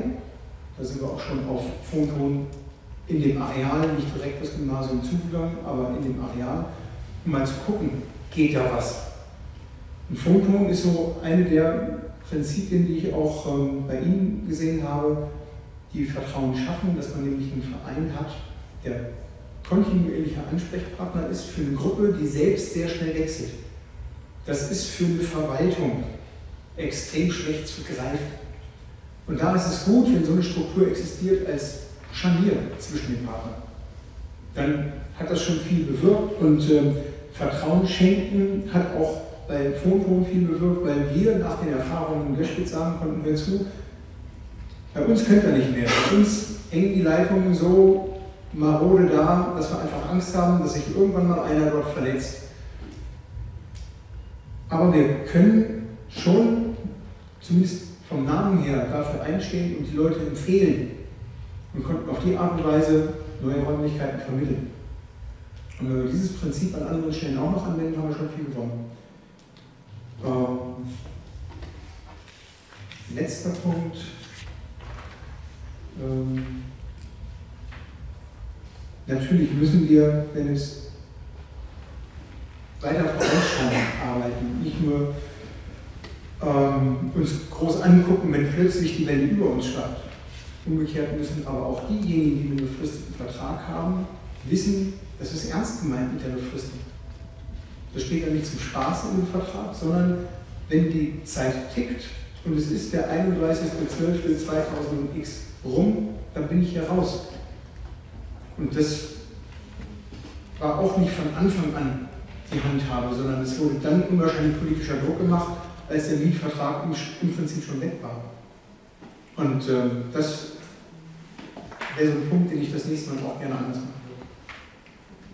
Deswegen nochmal einige Anmerkungen von mir.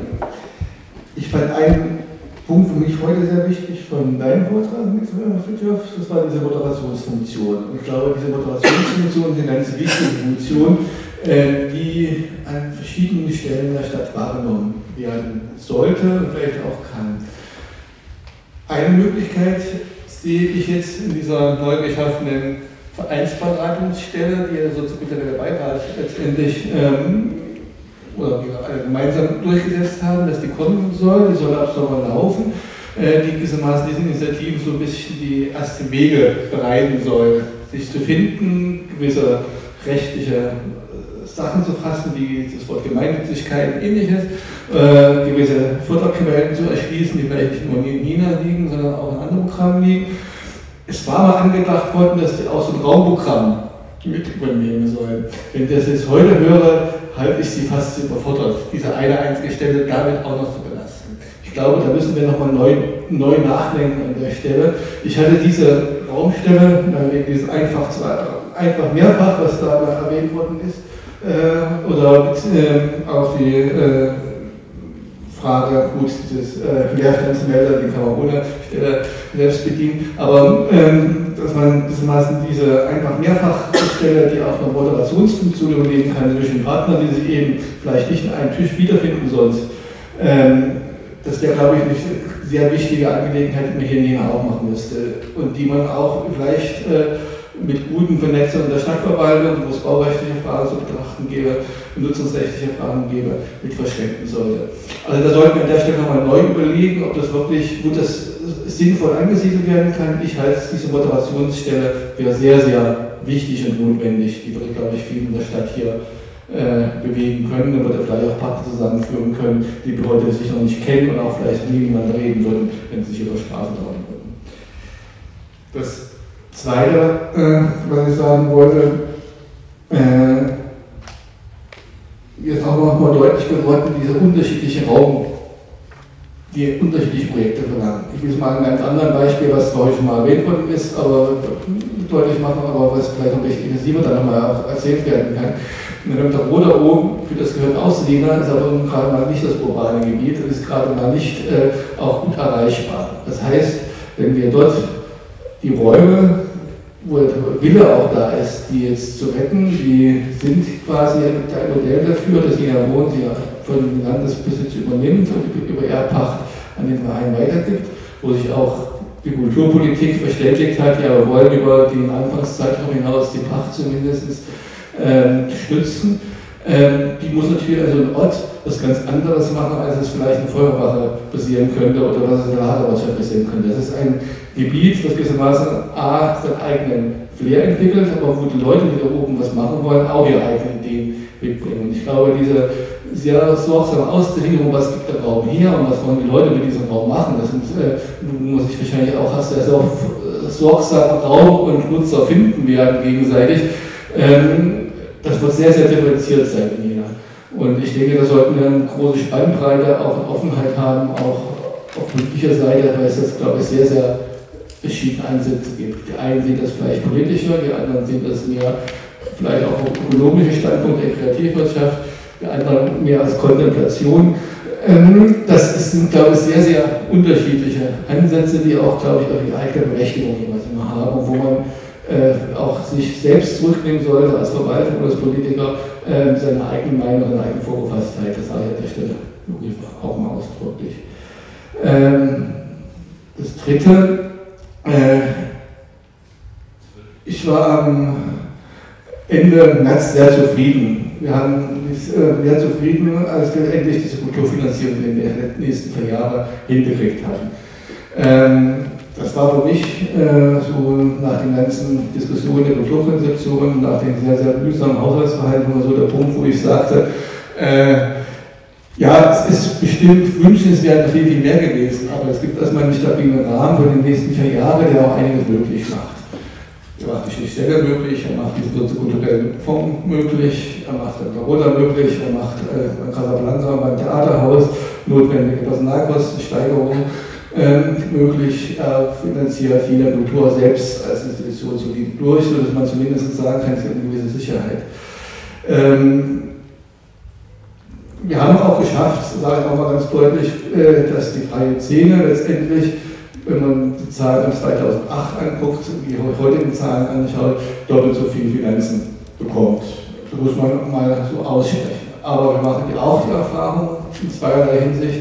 A, steigende Mieten und Personalkosten fressen diese erweiterten Förderrahmen sehr, sehr schnell wieder auf. Und drittens, es gibt eine Vielzahl guter neuer Projekte aus dem soziokulturellen Raum, auch im ganz klassischen Kulturraum, die lohnenswert sind zu unterstützen. Das heißt, wir hätten auch in den Jahren sehr schnell an die Grenzen auch wieder kommen.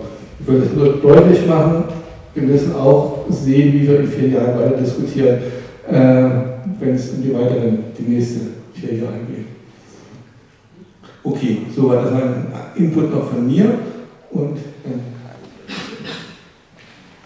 ja, und äh, ich möchte jetzt, äh, ich hoffe, ich kriege da den Faden auch wieder hin, nochmal ganz kurz zurück zu den Büroräumen, aber ich möchte was anderes sagen. Ähm, eigentlich ist es ja ganz schön, dass viele äh, Objekte derzeit oder Projekte, Ideen derzeit diskutiert werden. Das sagt schon, dass eigentlich ein großes Potenzial vorhanden ist.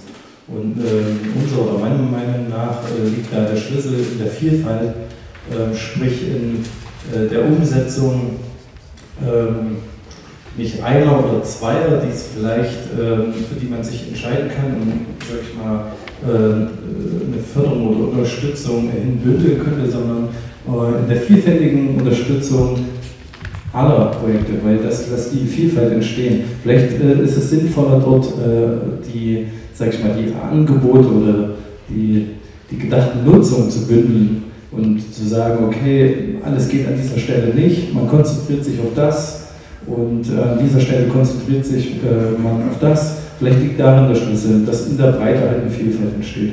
Auch den Blick in andere Stadtteile zu richten, ist dafür vielleicht ganz gut. Ähm, zu den Proberäumen nochmal ganz kurz, da gibt es, äh, fällt mir immer so ein Beispiel aus Dresden ein, da gab es einen Verein, der mit Unterstützung der Kommune äh, ein Plattenbau, ein leerstehenden Plattenbau komplett als komplettes, äh, als Riesenproberaum ausgebaut hat. Also sprich, da waren, ich weiß es nicht, unheimlich viele Proberäume in einem Haus. Das hat natürlich die ganze Energie gebündelt und hat auch Probleme von vornherein äh, äh, ausgeschlossen, nämlich das Lärmproblem, was eigentlich das größte Problem von Proberäumen ist, äh, neben den schlechten Zuständen. Gut, ähm, Jena, wir haben das Raum, äh, die Raumdiskussion, ja, Götz Brandenburg hat gesagt, äh, wo jetzt nichts mehr vorhanden ist, müssen wir neu bauen. Das ist richtig und ich sprach vorhin von unfertigen Räumen, die es nicht mehr gibt. Somit müsste man bei Neubauten, äh, denke ich mal, von Anfang an auch ähm, die äh, Kulturschaffenden mit binden, um unfertige Räume auch da entstehen zu lassen. Also nicht, wir sagten es vorhin, nicht, ähm, der Ziel, nicht das Ziel, sondern der Prozess steht da im Vordergrund. Und ähm, ähm, ich glaube, viele Initiativen ähm, äh, wünschen sich, dass sie mehr oder weniger bei Null anfangen können und nicht bei 10, äh, um eben ihren gestalterischen äh, Bedürfnissen nachkommen zu können. Also wenn es um Neubau geht, wenn dieser mal auf, vor, man muss sehr weit denken und das finde ich auch gut, ähm, dass man an der Stelle, äh, gerade beim Neubau, sollten sie zustande kommen, ähm, jetzt nicht äh, das Ziel vor Augen hat, sondern die Entwicklung. Vielleicht erstmal nur ein Gerüst stellt, der Rest entwickelt sich dann schon. Vielleicht sind da ein paar Adaptionen vom Wächterhaus-Modell möglich. Oder vielleicht entsteht hier näher ein völlig neues Modell. Einen Punkt hatte ich noch, aber den habe ich jetzt vergessen. Kommt jeder. Okay. Herr Schur? Hat sich schon so nach Schlusswort angehört, wollte ich jetzt gerne so ein Detail zu den, zu den Probenräumen nochmal äh, zu sagen, weil darauf hat sich die Diskussion ja äh, ziemlich zugespitzt. Also ich hatte vorhin versucht zu sagen, dass man sich einerseits natürlich neue Räume erschließen kann, die Zwischennutzung, Umnutzung, vielleicht auch durch Neubau, ähm, auf der anderen Seite aber auch vorhandene Räume einfach nochmal effektiver nutzen kann. Da denke ich ja auch, es ist durchaus möglich, auch in den Probenräumen äh, ein bisschen mehr ähm, zusammenzurücken. Also bei uns war das auch so, als ich noch eine Band gespielt habe. Wir haben uns dann auch mit zwei anderen Bands äh, geteilt natürlich. Ähm, wir hatten Glück, wir hatten Vertrauen zueinander, da standen halt dann drei Bassamps rum und es war klar, dass man den Kram von den anderen Bands nicht anrührt. Wenn man kein Vertrauen hat, kann man das mit relativ geringen Eingriffen eigentlich auch lösen. Da hat man ein abgetrenntes Abteil oder so, wo das ganze Kraftvoll reinkommt. Problem ist das Schlagzeug, klar, aber ich meine, da stehen halt irgendwie zur Not, wenn der Raum groß genug ist, zwei Schlagzeuge rum, ist eine kriegt eine dicke Decke drüber, dann ist es eigentlich auch geschützt. Also ich denke mal, das sollte schon möglich sein, irgendwie mit zwei, drei Bands in einen Probenraum zu gehen. Das ist genau das Prinzip der Mehrfachnutzung, irgendwie das einfach. Fünf so sind in einem Jena. Jena sind fünf in einem. Dann bringt alles nichts mehr. Ja. Vielleicht geht sogar das. Also muss man einfach schauen nach, nach auch baulichen Möglichkeiten, dass man eben Möglichkeit hat, einfach sein, sein Zeug unterzubringen, einigermaßen sicher unterzubringen. Ja, Kirsten. Danke. Ähm, ich habe mehrere Punkte. Den einen dachte ich, sich erledigt, den äh, du noch genannt hast, Stefan. Ich will es trotzdem gerne nochmal, auch wenn wir uns gestern schon darauf geeinigt haben, wir wollen eher positiv reden, will ich die Befürchtung tatsächlich nochmal aussprechen, die halt äh, mit dieser Liste verbunden ist, was eine schöne Sache ist. Ne? Die Befürchtung, die du als positiv gesagt hast, wir wollen diese Vielfalt, diese unterschiedlichen Orte haben, äh, ist ganz einfach. Ähm, dass letztlich der eine gegen den anderen Ort ausgespielt wird, weil man aus äh, der Sicht der Stadt nicht sieht, wie man mehrere Orte gleichzeitig unterstützen kann. Deswegen haben wir auch in dem Redebeitrag, ich habe den vorbereitet, auch darauf abgezielt, halt zu sagen, es geht nicht immer nur um das Geld, um die finanzielle Unterstützung, gerade diese Moderationsfunktion und so Sachen. Ne? sind halt auch möglich. Also wir haben das diskutiert, zum Beispiel bei diesen zwei Beispiele Lagerwirtschaft und Feuerwache halt äh, so als präsente Beispiele im Redebeitrag waren. Also die Befürchtung einfach, äh, dass dann halt die Stadt anfängt auszuwählen, wir unterstützen jetzt den einen Ort und den anderen nicht, weil die sind vielleicht tatsächlich in ihrer Angebots- und Bedarfsstruktur halt einfach äh, sehr unterschiedlich. Also da einfach nochmal dran zu erinnern, Unterstützung ist nicht immer finanziell gebunden halt. Ähm, ja. Das andere ist ähm, tatsächlich, ja, äh, da hat sich da in den letzten Jahren was bewegt in der Kommunikation. Ich sehe das auch positiv und möchte trotzdem nochmal äh, gerade im Anschluss an dein Beispiel, weil es ist ein gutes Beispiel, wo äh, die Szene kommuniziert hat. Wir äh, haben damals wirklich mit mehreren hundert Menschen diese Zettel da in den Briefkasten eingeworfen und es kam keine Reaktion seitens des Oberbürgermeisters. Und es war ähm, adressiert an den Oberbürgermeister, an die Stadtverwaltung und an die Stadträte.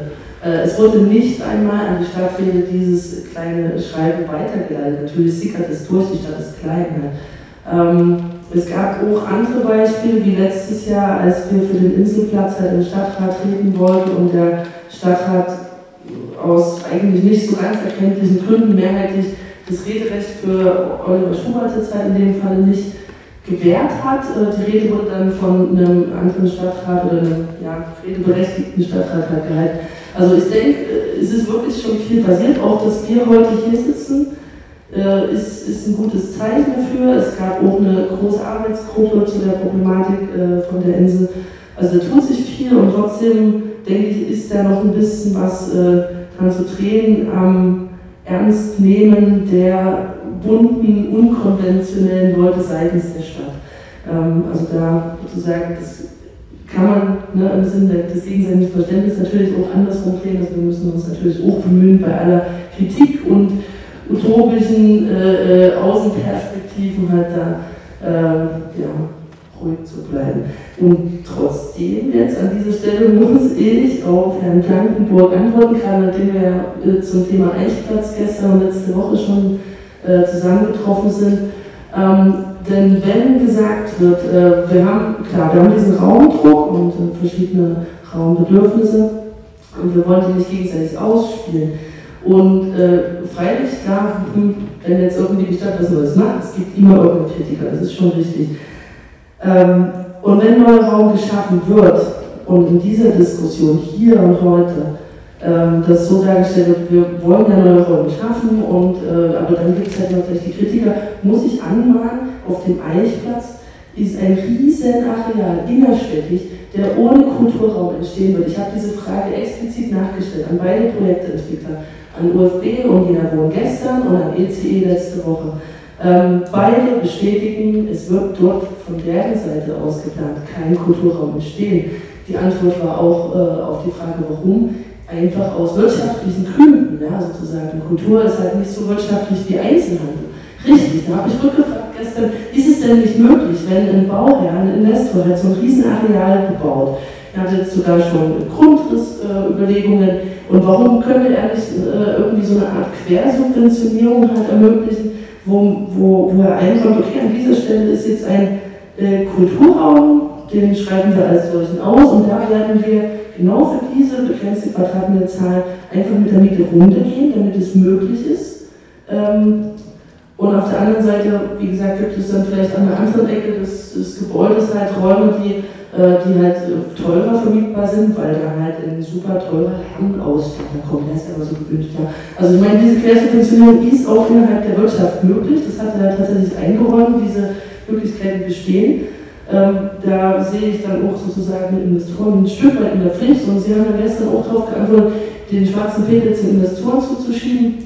Ist nicht richtig, sehe ich ähnlich. Die Antwort kam auch. Äh, der Auftrag ist in dieser Form schlichtweg von der Stadt nicht gestellt worden. Das heißt, ein Stadtrat beschließt, vorgegeben, vorgearbeitet, ausgearbeitet, wie auch immer gelenkt durch äh, verwaltungsplanerische äh, Akteure, beschließt den, die Bebauung eines riesengroßen innerstädtischen Areals und beauftragt nicht die Investoren. Und die Möglichkeit gibt es, ähm, da auch kulturellen Raum zu schaffen, ob der dann im hochkulturellen Bereich liegt oder im soziokulturellen Bereich, ist ja dann erstmal zweitens. Es gehört zum lebendigen Dasein der Innenstadtation. Deswegen habe ich nochmal nachgefragt, das fand ich einen super spannenden Hinweis, wo ich genau dran gedacht habe. Natürlich hat die Stadt Möglichkeiten, auch in Verkaufsverträgen genau sowas zu regeln und zu sagen, okay, ihr kriegt von uns eine, eine Möglichkeit, ein Riesengelände zu bebauen. Das ist wieder eine Referenz für euch, für die Zukunft. Ihr könnt da auch Gewinn damit einstreichen. Also Riesending für euch. Wir fordern was Kleines zurück.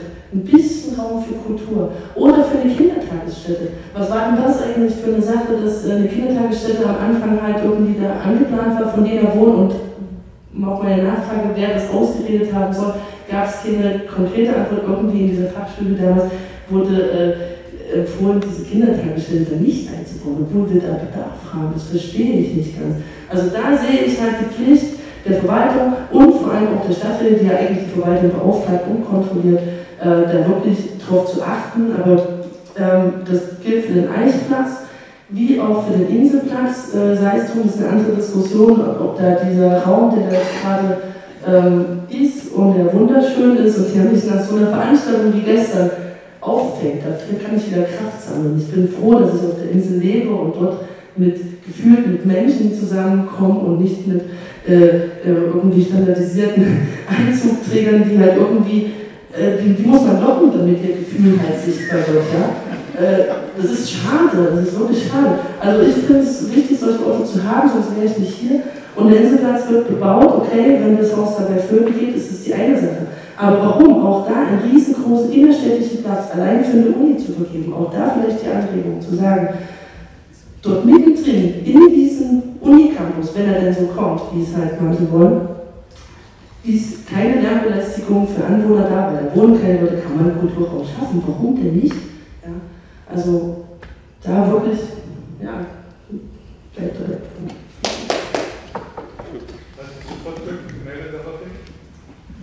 Naja, so ein bisschen, also jetzt. Also, wir wollten eigentlich das mal einen Grundsatz für und denken, dann wollte das ist ah, Okay, ich versuche es mal ähm, äh, kurz und schlank zu halten. Wir haben in den letzten Jahren als Stadt im Auftrag des Stadtrats an mehreren Stellen Kulturflächen massiv ausgeweitet. Wir haben das Volksbad mit einer Nutzfläche von, ich habe es nicht im Kopf, Frau Dr. Franz, Sie haben es Gut, wir übergehen die konkreten Zahlen, aber das ist schon extrem massiv. Und ähm, ähm, wir haben auch andere Räumlichkeiten geschaffen, in der Innenstadt oder auch an anderen Stellen, ähm, oder haben es unterstützt, dass Flächen entstehen. Ähm, am Eichplatz konkret zu sagen, da ist 100 Quadratmeter Ladenfläche auszusparen für Kultur. Ich weiß nicht, wie Sie es sehen als Stadtplaner. Ähm, bei uns wird da eher der Kopf drüber geschüttelt für die Soziokultur als fertiger Raum in einem neuen Quartier mit einem Herrenausstatter links und einem ähm, Juweliergeschäft rechts dann irgendwie Soziokultur zu machen, kommt mir verlegen vor, aber ich bin vielleicht auch fantasievoll genug. Ähm, ähm, und die Idee, die von einem Investor erwähnt wurde, wir machen das Kunsthaus am Eichplatz. Äh, da gibt es eine etwas längere städtische Diskussion zu, ob wir uns denn ein Kunsthaus in der Form leisten können und wollen. Ähm, und das hat bisher zu der Antwort geführt, nein. Und entsprechend musste auch der Investor seine Pläne ändern. Und bei der Kita ähm, nun, da gibt es äh, inzwischen ohnehin den Trend, dass wir künftig wahrscheinlich darüber reden können, wie wollen wir Kitas nachnutzen. Tja, hier für den Raum vielleicht eine ganz interessante Anregung. Würde uns auf jeden Fall die Schließung einer bestehenden Kindertagesstätte erleichtern, wenn man weiß, da kommt anschließend irgendwie was Konstruktives rein. Ähm, aber die Kita ist im vierten und fünften Obergeschoss mit dem Dachgarten angesiedelt gewesen. Nach Thüringer Kindertagesstätten Ausstattungsverordnung müssen 10 Quadratmeter Fläche, Außenfläche pro Kind vorgehalten werden. Und äh, ja, man hat einen Dachgarten. Das ist nicht der ideale Standort für eine Kita, Entschuldigung. Eine Kita ist auch alles andere als ein öffentlicher Raum. Versuchen Sie mal, nach 17 Uhr auf den Spielplatz einer Kita zu kommen. Da ist ein Zaun drumherum und der bleibt zu so wie da auch nur eine Glasscherbe drin liegt, kriegt am nächsten Morgen nämlich die verantwortliche Pädagogin einen Schreianfall. Und entsprechend bleiben das sehr private Räume, geschlossen für diejenigen, die die Anmeldung glücklicherweise gekriegt haben. Alle anderen bleiben draußen. Und es ist ganz schwierig, das bei Schulen durchzusetzen, dass man vielleicht Räume öffnet. Und zwar erstmal um die Außenräume, wo irgendwelche Spielplätze sind, da den Rektor dazu zu bringen, mal gnädigerweise das Tor aufzuschließen, ist eine Mammutarbeit. Und die Räume zur Verfügung zu stellen, das ist noch mal schwieriger. Und da sind wir dann wieder beim Thema Vertrauen. Räume haben wir genug. Nicht für jede dauerhafte Nutzung, aber so punktuell für ein paar Zeiten. Nicht unbedingt Bandprobenräume, weil das ist in der Schule auch schwierig zu gewährleisten. Vom Lärm her innerhalb des Gebäudes haben wir an verschiedenen Stellen probiert und wurden nicht glücklich. Aber ähm, der Punkt ist einfach, das Vertrauen muss da sein, dass man den Schlüssel umdreht. Und äh, da müssen viele Beteiligte von vielen verschiedenen Seiten auf die Schlüsselträger zugehen. Und äh, dann läuft einfach was an. Ich schaue jetzt ein bisschen auf die Uhr, weil wir nämlich halb, halb zehn fertig sein sollten und so ist es ein, zehn Minuten nach halb zehn. Äh, ich würde jetzt dir das Wort geben und dann würde ich noch mal versuchen, dann noch was Zusammenfassendes zu sagen. Ja, äh, ich will nur zu Weißherzen sagen. Auch die Sache mit dem Vertrauen, denke ich, das ist sehr wichtig. Und man merkt, dass in Lena irgendwie das ist meine Wahrnehmung, dass viele Politiker oder die Politik hier in Jena denkt ein bisschen konventionell. Und man sieht ja auch in den Projekten, wo man ja auch sich immer Bürgerbeteiligung wünscht, aber nicht erachten oder nicht beachten oder nicht wahrnehmen die Wünsche der Bürger und die nehmen die Bürger nicht in ihrer Funktion alles politische Menschen, die dann vielleicht nicht der Fachmann ist, aber die weiß ganz genau, was ist gut für diese Person. Und ich denke, was sie hatte hier gesagt, wir müssen zugeben, das war wirklich ein Mangel bei diesem Projekt Archiplatz. Vielleicht nicht sagen wir mal, juristische Fragen wie Kita, aber das ist äh, Raum für Kultur nicht gedacht habe und ich gibt es auch anderen Mango bei diesen großen Projekten, bei der Stadt.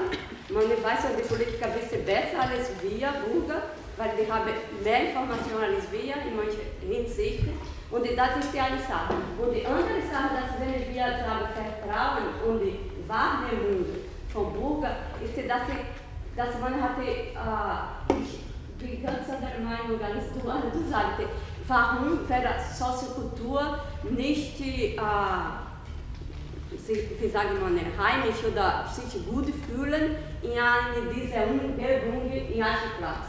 Ich denke, das ist die eine, wie definiert man und was ist die Soziokultur. Und ich denke, genau in diese Räume, wo man keine mehr Raum für Kreativität haben, dass genau dort muss heutzutage eine moderne Gesellschaft soziokulturelle oder soziokulturelle Projekte und die Menschen, die kreativ in diesem Bereich sind, nachzudenken, wie ich ein Stück Menschlichkeit in dieser, sagen wir mal, ähm, ja, Tempel von Zement und so weiter und so fort.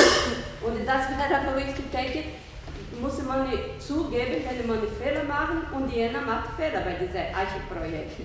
Eiche-Platz-Projekte. Und man weiß das und deshalb kommt nicht voran. Und ich denke, gibt es noch Möglichkeiten nachzudenken, weil es gibt ja andere juristische Fragen. Und ich kann die Politik hier diesen Input geben, dass in diese großen Projekte und sowieso bei den Inselplätzen, dass man die Kultur, und die Kultur ist so ein weiter Begriff, meinetwegen, wenn man soziokulturelle Projekte oder Kultur, alles etwas was weiß ich, von Menschen am Rande der Gesellschaft, wie das ein Projekt in der etablierte Kultur, in der klassischen Kultur, eine Galerie oder eine kleine Musikschule oder was weiß ich noch immer.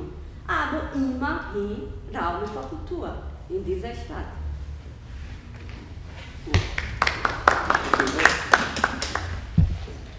So, ich würde jetzt kurz mal doch jetzt die Diskussion zu Ende führen auch wenn wir jetzt noch schlägrig ein verwandtes Gebiet, wo wir das mal so gemacht haben am Ende. Ähm, hier war wirklich nochmal das Stichwort, äh, was ich vorhin sagte, äh, wichtig, dieses äh, Vertrauen ineinander zu gewinnen. Ich denke, da sind wir auf dem Weg, äh, das zu schaffen. Das trägt vielleicht auch dieser Abend äh, dazu bei. Ich würde gerne, dass äh, das, was heute Abend beredet worden ist, nicht in Vergessenheit gerät. Also wir haben einerseits das dokumentiert auf Video, das wird äh, auch jedem, der es wünscht, gerne zur Verfügung gestellt werden. Äh, ich weiß nicht, ob die Referenten bereit wären, ihre äh, Präsentationen eventuell auch zur Verfügung zu stellen oder nicht. Ich muss hier nochmal überarbeiten, aber Dann könnte man das zumindest aufheben, mal. Ich möchte nämlich nicht, dass die vielen Anregungen, die heute gekommen sind, die waren ja sehr, sehr unterschiedlich, auch diese Anregungen, glaube auch sehr, sehr sinnvolle Ideen, die man prüfen könnte, was in China umsetzbar ist, vielleicht von äh, den Ideen aus Leipzig oder von Ihnen. Und äh, auch was von euch genannt worden ist, möchte nicht, dass es verloren geht. Und ich würde gerne eine Form finden, wie man dieses Gespräch fortführen kann. Ich denke, vielleicht ist es auch eine Aufgabe für den soziokulturellen Beirat, darüber mal nachzudenken. Äh, äh, natürlich können auch die Grünen wieder einladen, aber ich glaube, es ist, äh, wäre auch eine sinnvolle Angelegenheit, wenn das vielleicht auch eine Gruppe übernimmt, die eigentlich dafür auch mal gegründet worden ist. Also das kulturelle Beirat ist ja eigentlich diese Vermengung aus Politik und äh, Kulturszene, äh, dass der er sich vielleicht überlegt, was für ein ständiges Format formuliert es mal der weiteren Diskussion. Ich kurz dazu sagen, dass äh, was ich erkenne, was schwierig ist in diesem Beirat, dass die Leute aus der Szene, die da drin vertreten sind, äh, viel von der Kulturarbeit halt ehrenamtlich machen, ohne Bezahlung machen, insgesamt halt wenig Geld haben oder halt irgendwie da einen hohen zeitlichen Druck haben.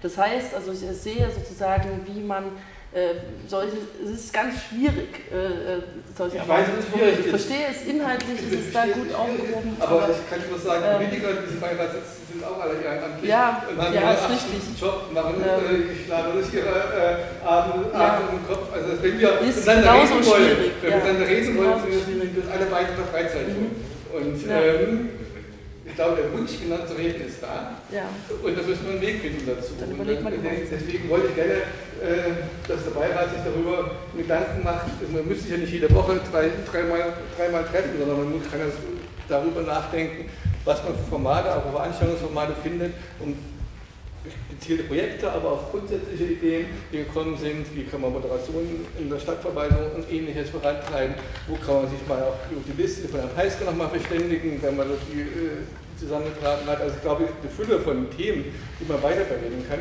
äh, und die man auch gewissermaßen irgendwann sehr konkrete Stadtratsbeschlüsse und Umsetzungen führen kann. Und ähm, da muss es, denke ich, mal eine Stelle geben, wo diese Kommunikation möglich ist. Und äh, die will ich jetzt nicht präjustizieren, dass man das heute Abend noch was festlegt, aber ich würde die gerne in den Beirat hinüberweisen und vielleicht kann auch der Kulturausschuss sich danach noch damit nochmal beschäftigen, weil Kulturausschussvorsitzende war zumindest auch da, Herr Vogel, ähm, sodass wir da, denke ich mir, einfach diesen Gesprächsfaden nicht abreißen lassen, sondern diesen Gesprächsfaden fortführen. Das wollte ich sehr, sehr wichtig finden. Ich bedanke mich fürs Kommen, bedanke mich für die guten Ideen aus Publikum und aus den Reihen hier, hier vorne. Äh, wir werden diese, gesagt, diese Dokumente sammeln und die Videos sammeln und wer das, haben möchte, das soll sich melden bei uns, dann, dann kriegt er sie. Vielleicht finden wir eine Möglichkeit, also auf unserer Homepage äh, Unterlagen zu bringen. Das müssen wir dann sehen, wie es rein. Technisch erfolgt. Und äh, es gibt jetzt noch die Möglichkeit, ein Bier zu trinken, so wie ich weiß, ist zumindest Fickhoff noch. Äh, Aufgrund des Fahrplans. Aufgrund des Fahrplanes, er nutzt den letzten Zug nach Leipzig. Da, also ich wollte mit ihm jetzt ins Café Zentral hinüber wechseln, wir gerne mit ihm noch ich weiß nicht, ob Sie noch Zeit haben mit den beiden und äh, vielleicht kann man auch in manchen Gesprächen noch bei mir ein bisschen äh, weiterführen, was heute gesagt worden ist. Ähm, deswegen eine Einladung, wer mitkommen möchte, dann kann er zentral, kann gerne mitkommen. Und ansonsten äh, würde ich mich freuen, wenn wir uns wiedersehen an den Orten, wo wir uns sowieso sehen werden, aber vielleicht an Orten, wo wir noch nicht gesehen haben.